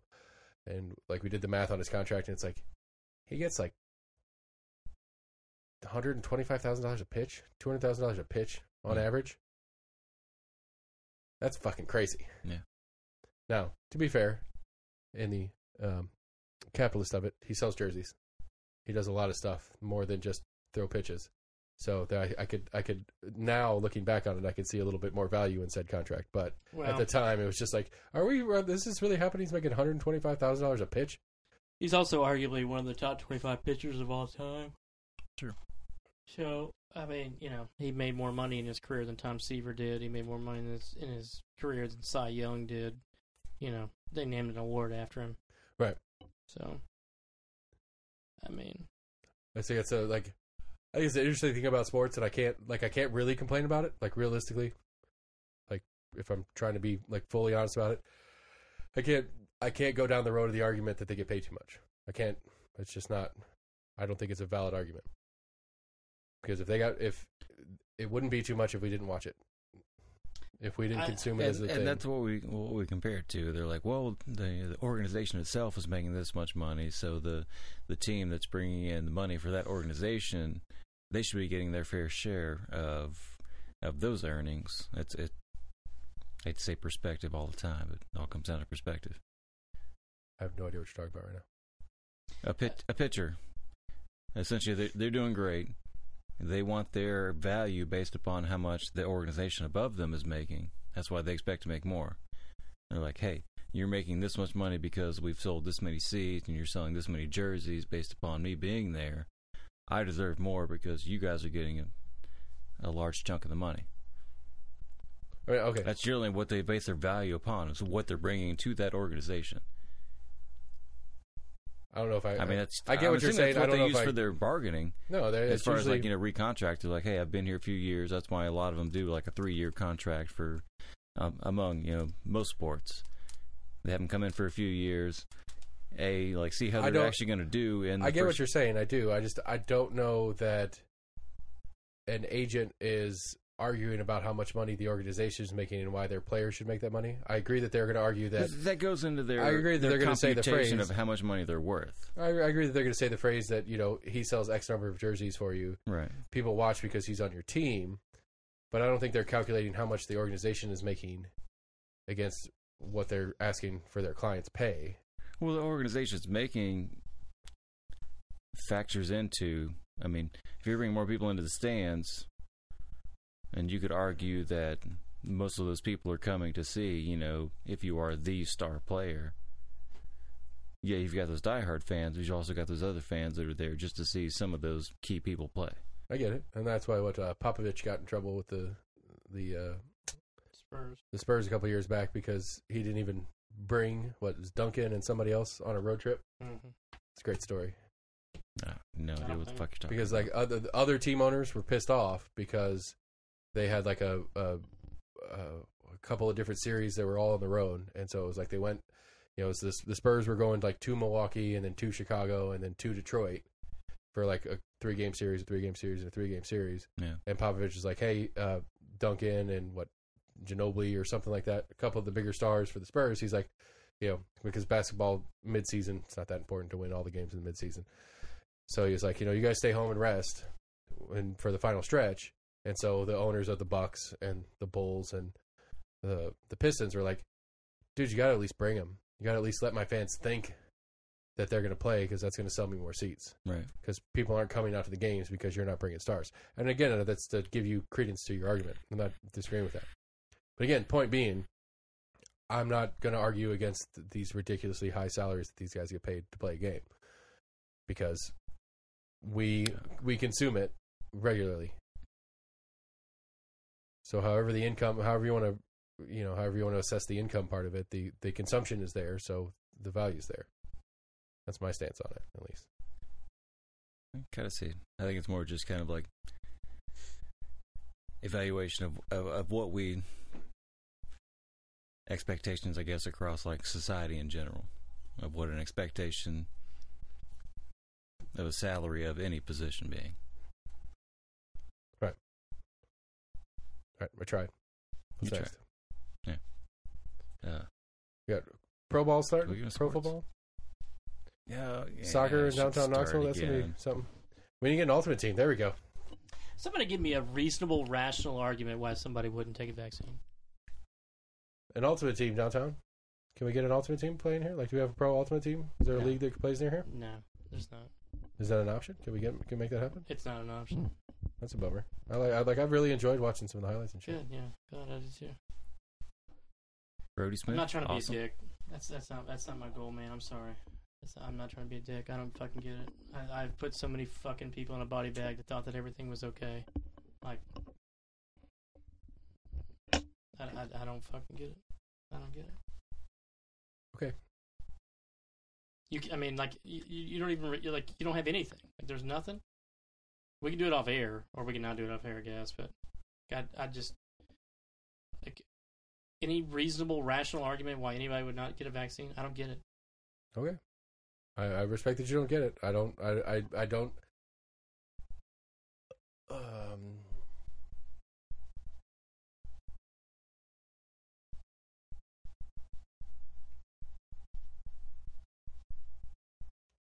I mean, I, I, I don't.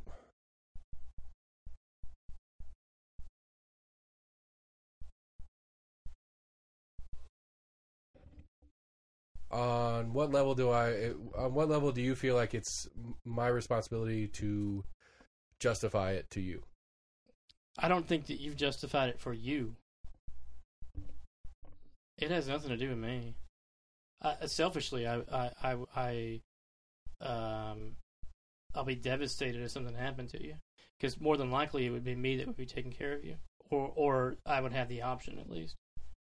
It isn't. It, it, it's not about justifying to me. I don't give that. That doesn't mean anything to me. I, I don't think people have actually justified that to themselves. I believe that. I really do. Okay. And uh, every single time that I've asked somebody that, they can't respond. There's not a response. You're so good at this. It's not fair. What do you mean I'm so good at You're this? so good at this. I'm fucking right. Like it has nothing to do with being good about this or not. It's it's I'm fucking right. Like I've had people FaceTime their family members from a different state because they're dying, and like it, has nothing to do with whether somebody is good or not. It's just it doesn't fucking exist. Period. It doesn't exist, dude. We live in a world where we're okay with telling somebody things are okay for you and that's okay with you and you can do that and this person can do that. But like in a lot of ways we're fucking pussies as a society because we don't tell somebody outright they're fucking wrong. Like we don't do that anymore. That's a problem. I'm not saying it's necessarily this problem. Okay, so it is a problem. All right, so there's a, there's a starting point. Who is we?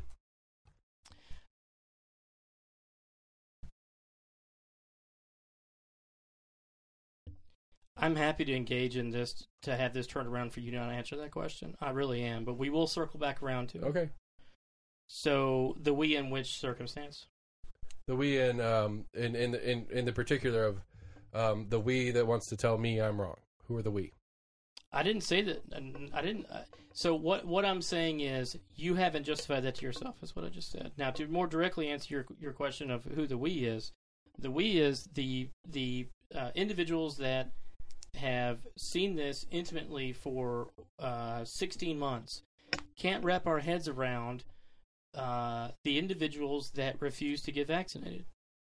That don't have a rational, rational, reasonable answer to why they're not getting vaccinated besides I don't want to. It that that it it's not a rational or reasonable answer. And then the response, of course, to that is, well, it's not a rational or reasonable answer to you, which is another bullshit moral relativism response. Is all that is.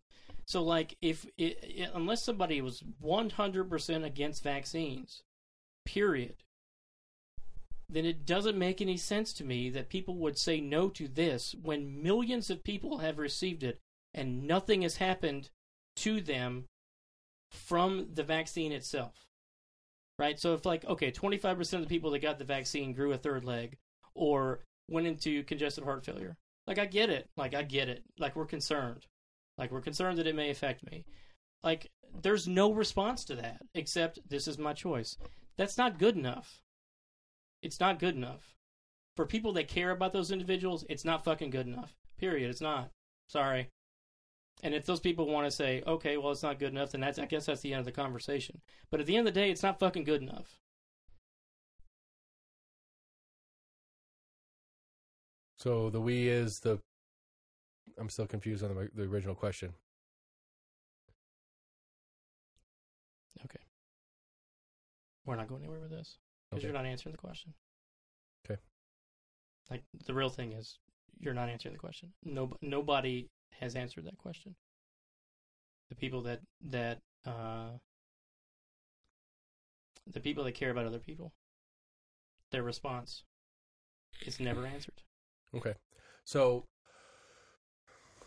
all right. So, um, in an attempt to answer the question, um, at minimum, I'm confused. I'm Okay. I'm I'm I'm full on fucking confused. Uh, I don't know who to believe. I don't know who to trust. I don't know where to begin. okay.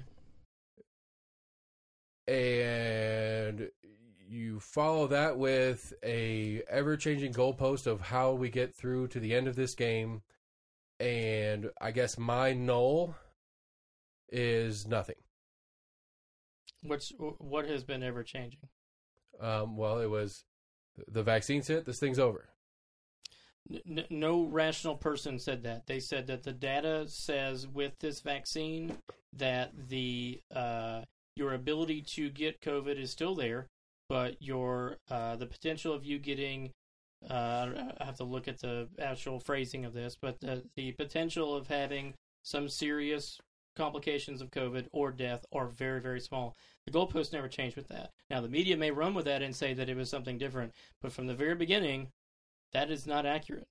okay okay i'm again i'm not disagreeing with my uh, no i mean no, i'm i'm i'm, I'm again again again reassert confusion I don't know And- what's and trying so to What? Yeah. Yeah. Trying to say what's so confusing? Yeah, I don't know what's confusing. I I'm mean, happy to answer that. It it start. I mean, you know, and I guess this is my. I'm more into politics No. than I should be to to live, but the scientific community going through the actual like experimentation realization process of adjusting to a novel coronavirus. I'm sorry. How does that? I, I, I, I'm trying to understand a little bit of your confusion. Like, yes, but there was a reason we were confused because we were still trying to learn. Like, we didn't know exactly how transmissible it was. Okay, was. so the, the exactly confusion got- was that the the, the I, I'm I'm trying to like I'm trying to understand your confusion. That, that yes, it, there there was some changing in it, as far as our understanding of it. But we continually learned more and more, and as we learned, we had to adjust to our further understanding of it. okay. So I, I can see a little bit of your your conf- uh, confusion, but not complete confusion. okay. I, I, I You don't. seem like you're completely confused, and I'm trying to give you a little bit of justification for a little bit of the confusion because there was a little bit of a learning curve that we had to adjust to because there was a lot to learn about a novel virus. So we're going to be offering a, a booster shot here in a couple weeks. Right, yeah. Uh, and from the very beginning, we said we didn't know how long that this was going to offer us antibody resistance. I'm not. I, I I work in healthcare. I'm not confused by that. Uh, okay, it, it, uh, hopefully it worked for six or eight months, or I never came into contact with it. Uh, I'll be there the very first day that I could possibly get it. I was there the second day only because the first day I was sleeping and didn't get registered enough time. I, I, I guess I, I, I don't, um, I, I don't understand the confusion, man. Like I don't get it. I don't, I don't know where the confusion is. Not one time did, did anybody say that this right here was going to allow us forever more to not get COVID ever. But like, you look at the 130 cases of that at this local place, and like 88% of them are unvaccinated. I'm like, I'm not a smart dude, but like, fuck, it's pretty good math. Like, none of them are in the ICU. Like, I, I don't, I don't know what else. Like, I, I don't know how. What else do we need to convince people to take it? Like, what else needs to occur? And if the answer is nothing, then it's just as bad as the times that we have said before with Trump, where like, where's our line with Trump? Where like, this is the one thing he has to do for me not to follow this guy anymore. And if there's not one, and that's fucking scary. We've had that conversation. It's really the same thing with me with this. Like, what has to happen for for folks to uh, that don't have some sort of uh, sensitive, like legitimate medically diagnosed sensitivity? Okay, that's, I mean, if it's a medically induced sensitivity, if it's a legitimate one, which is like less than one half of one percent, You said that didn't exist. What? What Yeah. you just said? You, said, It, it, you laughed mean, at me when I, I said that to I you. mean, the, the- theoretically, it really doesn't exist. I mean, it's like less than one half of one percent. Okay. That, but but right there, uh, the, the, only way that any the only reason why anybody would say that is to try to win some argument. And if that's if, if the point of this is to win an argument, then like we're all wasting our time. We should just be drinking beer and talking about fucking shooting deer in two months. Th- th- This conversation has nothing to do about an argument. It has it has everything to do with the fact that like I really want my kids to to grow up and like know you. And I'm not saying that you're gonna fucking die tomorrow and be some sort of fucking bullshit, you know, Nostradamus. That's not what I'm saying. I'm just saying at the end of the day, the people that I talk to that that have that similar outlook can't actually tell me when I have dialogue. It is a level of frustration that they have when when facts are provided to them, and I don't understand why it's so frustrating. Like I don't want to stick a corn cob up, my- up my ass. Somebody could say to me, "Hey, these are the reasons why you should do it," and yet I don't get frustrated when I tell them that I don't want to for these reasons. So it's like I don't get the confusion. There are no national, oh my God, did you see what's happened to me as a result of this vaccine? If there was, I get it. There's not. And if it's a, oh my God, I got to get another booster, okay, that's fine. It takes legitimately 20 minutes of my time, 19 of which is me sitting on my ass in a chair making sure that I don't have some sort of side effect. It doesn't make any sense, dude. I'm not saying, like, I'm saying this just because of this situation, but, like, generally speaking, it doesn't make any sense. I mean, I've been. I mean, I've, I've, I've, I've. I don't know. I, I mean, I- I've, I've legitimately thought about it a lot, and I've been leaning towards, and I, I, I don't know. I guess, the- and I, I guess it's a non excuse. It's a non excuse, but I'm lazy. I guess don't want to take the effort. I've put more effort into my dumps in the last week than the effort it takes me to have somebody poke me in the arm. Right. Like, I feel like you push back just for the pushback of it.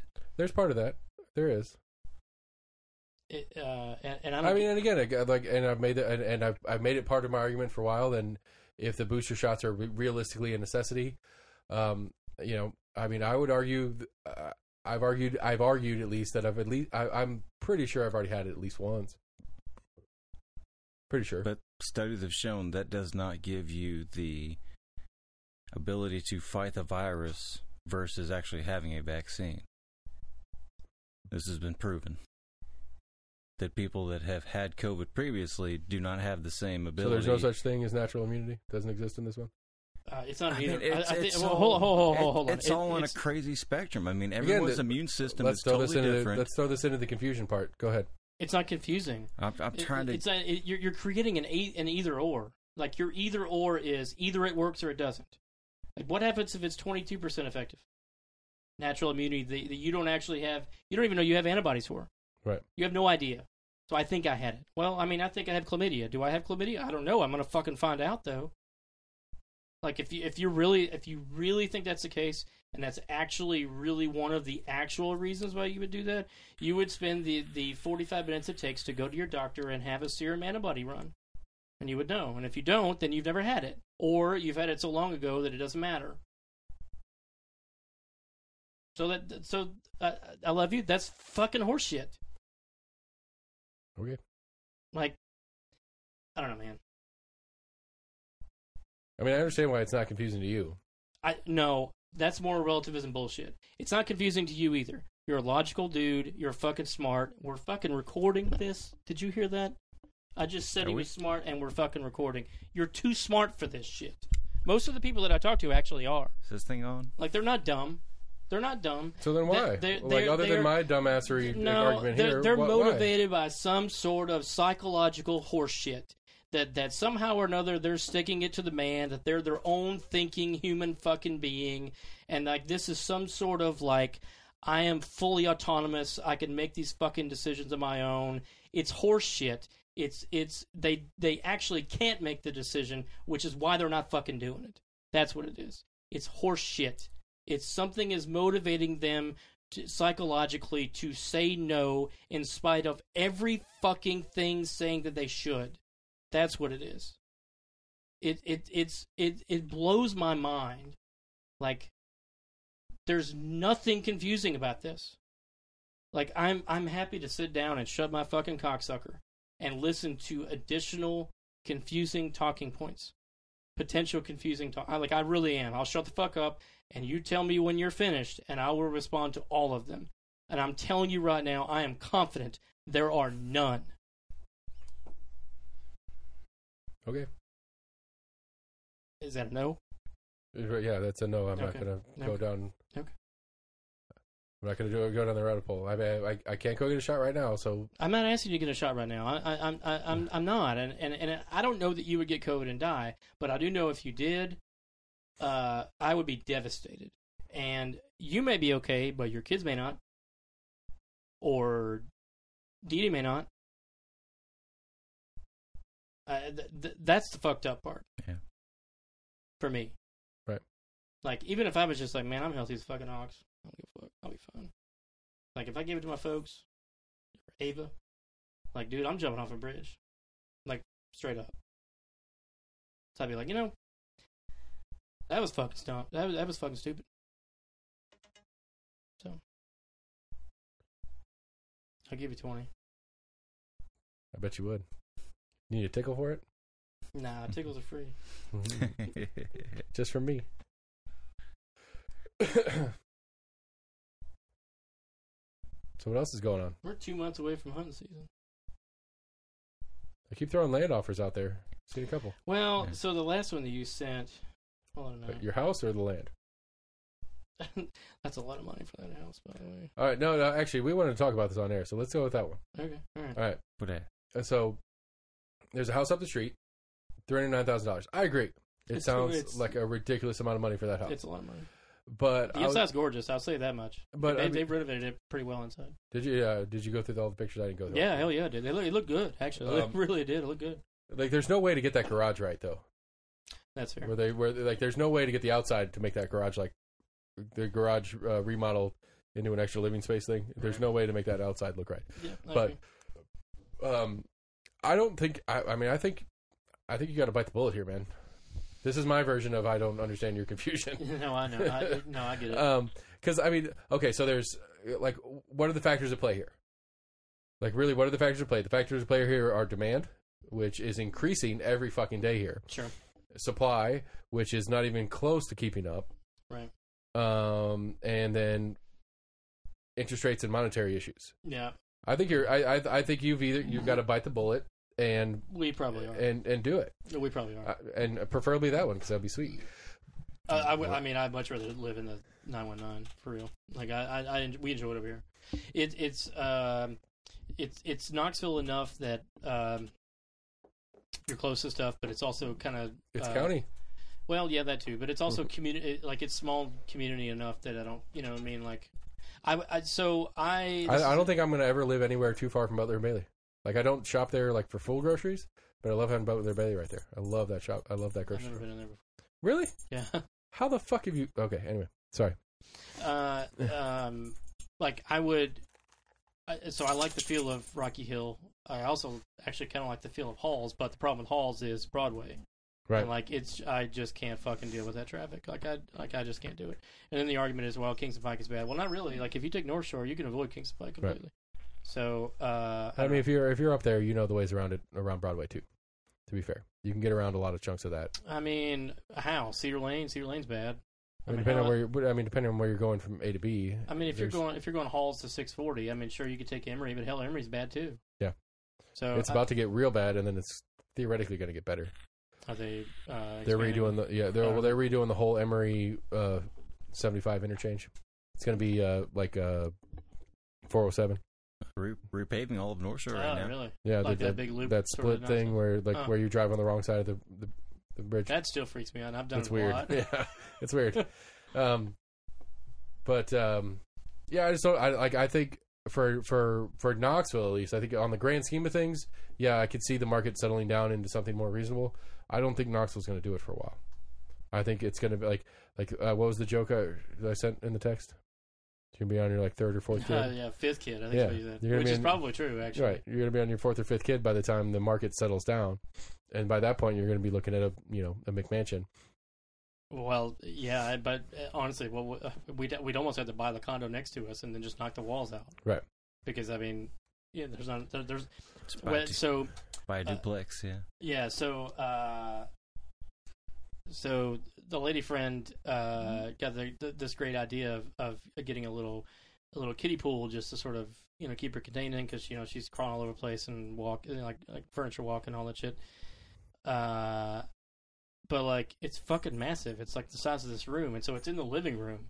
And so you walk through the fucking front door right now. We've got a fucking little kiddie pool without any water in it, with just a bunch of fucking toys in the middle of the fucking living room. And I walk in, I'm like, I tried to give you like two baby gates, and she said no. "What? Did she say no?" Yeah, No, she should have said no. We, we need them. yeah. I was like, we're getting ready. To, we're, we were cleaning some shit out of the closet or out of the garage, and I was like, I got two baby gates. She's probably asleep, and when I when I get home, I'll ask her about that because that should She's not have just happened. too proud. we fucking need them. She's Maybe just that's what. be may- too Maybe proud. maybe she thinks that you actually need them, and no, we 100 percent need them. well, too late. They got they went to that KARM center. Where your couch is gonna go? Never. Oh yeah, I need to get rid of that. You want a couch? You want a couch? Possibly. Free, 100 percent. There's nothing wrong with it structurally. It's just a le- it's a leather couch, and some of it's peeling on the back. Uh, it, it's comfortable. It, you can put like I'll I- I'll even load it into a truck for you. yeah, you will. Will- I'm will- 100% will it really fit in there? Yeah. you have to stack it. A little couple, Let, couple, let me see if I got some Leave the pictures. lift gate couple, open. of, couple. Well, yeah, lift gate. Yeah, the lift gate will be down for sure. I'll see if I got some pictures. Lift Uh, gate will um, be up for sure. You can 100% have it, dude. I'm gonna take it as- to well any anywhere. It doesn't matter It's where. been I'm like just thinking, three like, weeks. like, we've been trying to get The it to roommate and I, we used to have like there's a he bought like a Sam's Club or Ra- Walmart kind of couch. oh, this That's- is an Ashley That's furniture there, couch. but this, this thing's This is an Ashley furniture couch. Yeah. I'm not fucking around with that. It really is. With the You know housing this guy. market. I mean, like it's been up for our, our where we're living now has been up for sale, and we've had a few people like nobody this week, but nobody's come to look at it in like a week or two. But that's a. I mean, that's buying a house to be a landlord. That's different See if I can find the picture in here. Somewhere. because that's it. That, I We've mean, that's a few a, people like we've got this like standalone garage. And apparently, the last people that came to look at it, I guess one of the daughters was like, "Oh, I'll turn that into a tiny house," and it's this garage. It's dual level, but it's falling apart. right. I'm like, you'd have to do so much to like turn that into a tiny home. But I mean, with the way again, with the way like for that, it's for your place. It's a. I mean, it's a. It's an investment property. That's a different. That's a different conversation. Because I guarantee you, your landlord is asking way more because he has renters already in it. Yeah. That's a different. That's a different animal. But for a single family house, Well, I want to say most most people that have come to look at it, I think, are looking actually to buy it outright. I mean, the I mean, the like kind of see they might be looking at it to buy it outright and then sublet the or at least the your house, your half of it. They're not going to make it into a single family home. I think most people have, have thought about it's more like parents buying it for their UT kids to stay in there for a while. Maybe I don't know. I just think eh, like your place. I think at best, it's going to be somebody who lives upstairs and rents downstairs, And that's some people looked at it as well. Is, or is buying Like- it to rent like a it. family with a an older right. The in-law Uh, a suite, parent they for want, lack yeah. of a better word. yeah. So they can be like you know right there, either upstairs Yeah. or downstairs from. Yeah, but again, I, I would assume your landlord is asking a but the different housing price. market as it is. I mean, But your but your landlord is asking a different. His concept of price is a different price. I'm assuming it's a him. Excuse me, that was rude. Um, that's a different concept of price than I have a house. I'm selling a house to somebody else. right? You know, like if I owned if I owned this house and I had a, a but I didn't live here and had somebody renting this house, Right. There's a- It- I'm gonna put a different price point. Right. I'm going to put, put a different price point on that house than I would. I'm selling this house because I want to get out of this house. Right. You know, Which not that much. not a ton different, but a, a, a significant difference. Because I mean, there's a there's a whole bunch of tax implication differences. There's Because legal. I think there's something in like. I'm, hoping there's something in place. I'm pretty sure there's Yeah, something in place. Like once you sell it, They, you, you, still have to honor the lease of the previous. yeah, absolutely. Right. And that's the thing. That's what your landlord's Even selling. then, like in the grand scheme of a you know multi ten thousand dollar house, isn't going to factor in as much as But um, no, your I mean, your landlord's a- selling a, in a few that. grand in rent. But your landlord's selling in that you have a portion of the mortgage already paid by somebody else. Right. But not that much of it. But I guess uh, again, going back to the original point, is I think I don't think Knoxville is going to change housing market Not for a little bit. Yeah. for a while at all. We're, we're- we'll end up having to get someplace that we're um, in our minds at least settling on because at some point you got to buy the bullet. Yeah. So, I mean, how long has it been? I mean, you've been looking for eighteen months, two years. uh, Like the the real conversation like started happening. like probably? looking at places. Uh, I mean, what the way? I mean, it's been we're we're running on. probably, probably eighteen months, right around the time she got pregnant. Okay, so we're running on what two and a half years since the wedding. Uh, yeah. Yeah. We, and we were kind of looking, but like we started. I mean, we had we we've had our realtor now for eighteen months. I mean, we we've had her so long that, uh, you know, like we haven't paid her anything yet, and and she's not as she's she responds, but she's not as responsive, Right. Which I understand. I mean, you know, we haven't paid her anything. I mean, our our realtor got the same way with us, Yeah. and that was back when the housing market was terrible. Mhm. and we got lucky. I mean, really, we did.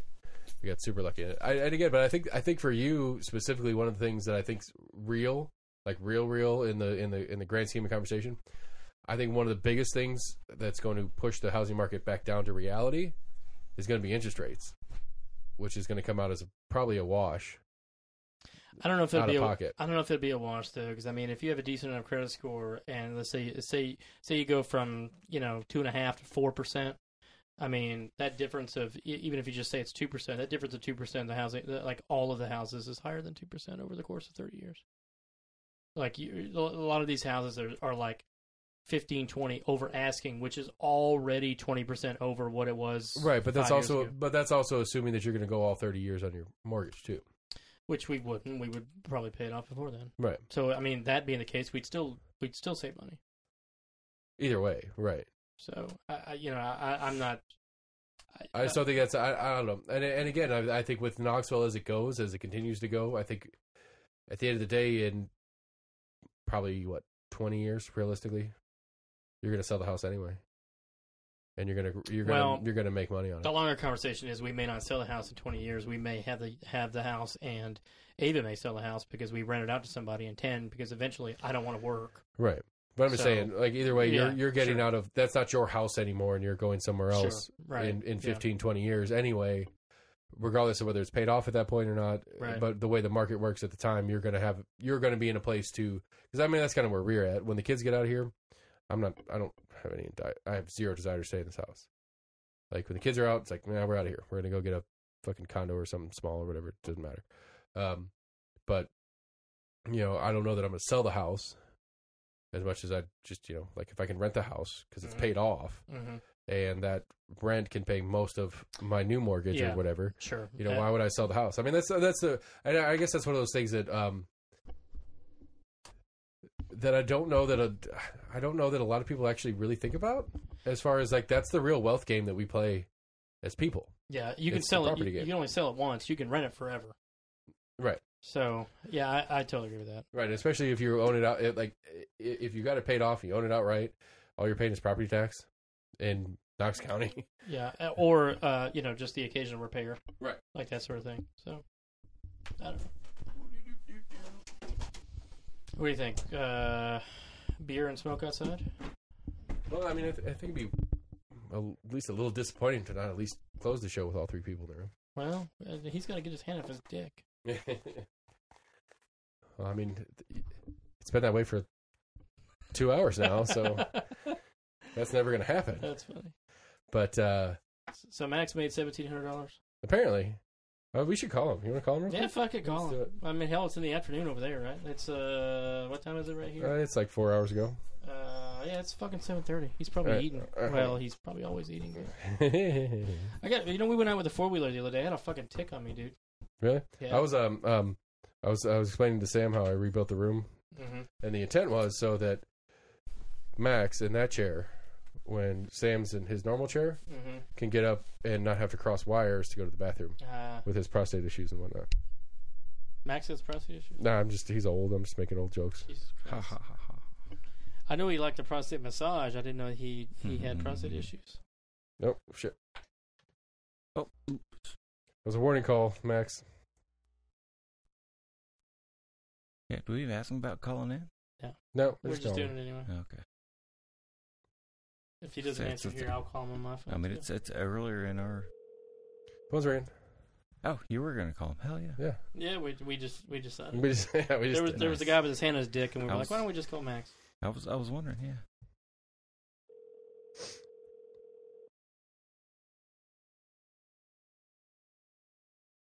nope. Uh, we Hi, tried. I've reached, you've reached Max. If he answers your phone, I'm gonna be pissed. I'm having too much fun. If he does, hand it to me. I can hook it up to the thing, so it actually works right. At the craps table.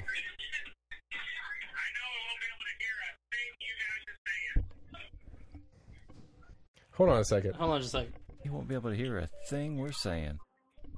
Hold on a second. Hey, Max. What are you doing? How are you gonna answer his call and not mine? What the fuck?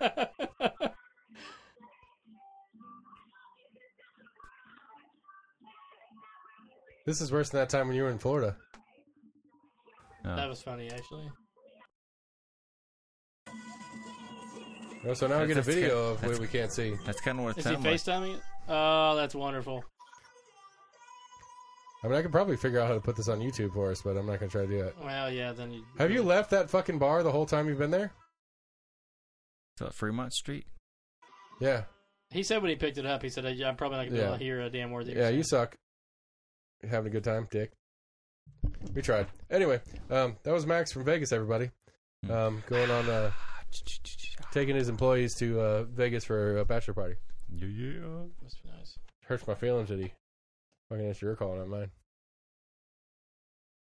Dick move. Anyway, um, so uh, last day of primaries. Oh, actually, we'll close on this. Um, who are you voting for in the primary? Yeah. AC. Hmm? Who are you Yeah. voting for in the primary? I don't know who's running. Are you part of this show at all? People. Yeah, I am. What district you're in in the city? Uh, same district as uh, what is her last name? We, we've had her on before. Um, Johnson. Uh, no, Yes. false. Gloria Johnson. Yes. She's not a city. Uh, she's not a city candidate, and in the, in her in her state House this of a- Reps Is, seat. it, is this a is this a gotcha moment? I think this is what this I is. think that I think it is. It didn't. ma- I didn't intend it to be, but I, I, I told you I don't know who's running. I thought it was pretty clear in the beginning. Well, you sounded like you did. I said I don't know You're who's like, running. yeah. but you're not in Gloria Johnson's district either. I actually am in Gloria Johnson's. No, you're not, unless you're He voting from your parents' house. He was I am. technically speaking truthfully. So if you're voting from your parents' house, your parents' house in the city, Yes. then you're voting the same district as same as. Okay. Well, thank you. I He is in that district, but just for a different race. He wasn't speaking dishonest. You haven't registered at this place. How long have you lived here? I've never registered at any place I've ever. It's like my my driver's license, which is apparently in the car. You don't need to. You don't need to show me. But I believe no, you. no, no, I, my mailing address is my parents, 100. percent I've never put. I think it's. I don't get. Well, I, don't, I take that back. I get uh, what mail do I get over there? I get uh, health insurance mail there. Uh, but as far as the state's concerned, I live South Knoxville. Okay. If it's always been like that, I've never changed it. Okay. Well, then you have um, Tommy Smith, Okay. um, David Hayes, Infield. or it's nice. I didn't even think about that. Are we, are we in the same district? Yeah. Okay. I mean, he's South Knoxville. His parents live uh, like two miles from you. Oh, but damn. Um, or uh, Elizabeth Murphy. That is so. I've seen that thing. That is so funny. Every time I drove by. Which one? The most recent one you just said. Elizabeth Murphy. Yeah, it's just funny. What uh, what what have you seen? No, I don't. Um, Just this. Every time I see the sign, I think it's funny. I like. I, I like the name. Okay, I'm confused.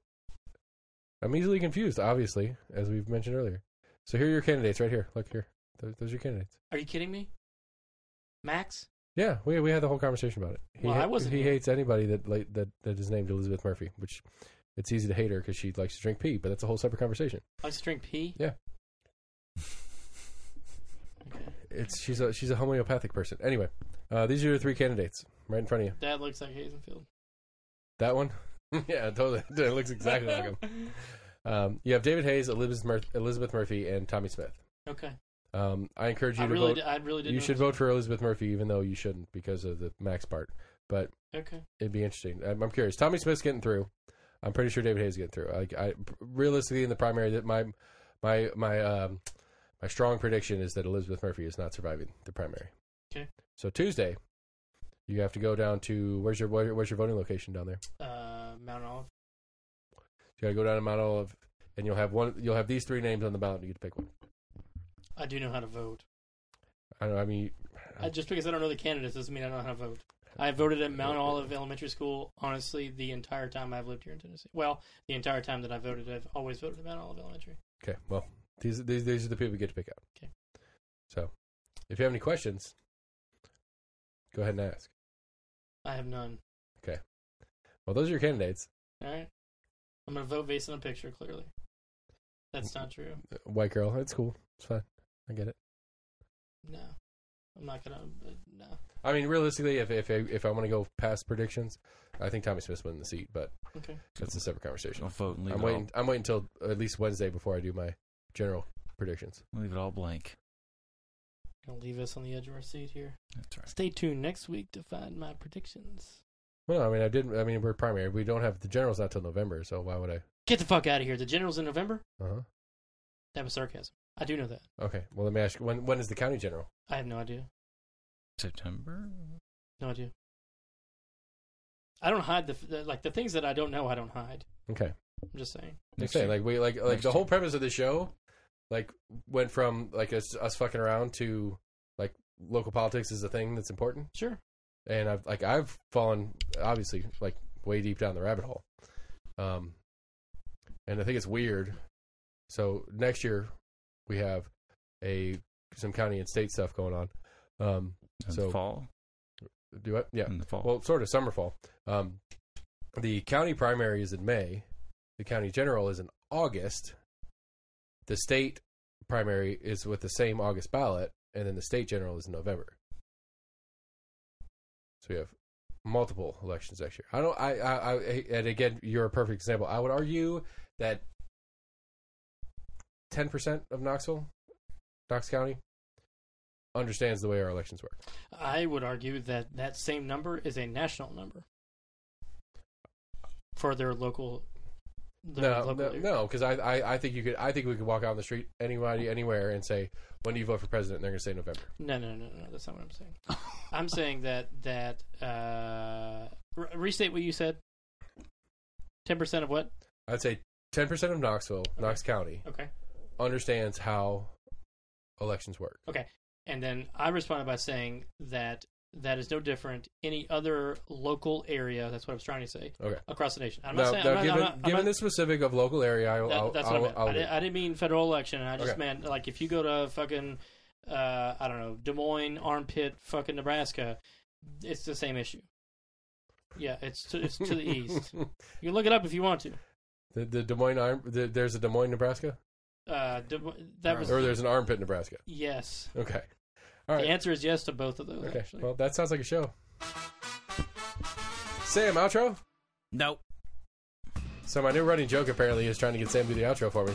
I tried once. I tried once. We'll try again. Come on, you can do it. You can we're, do it. We're almost in agreement.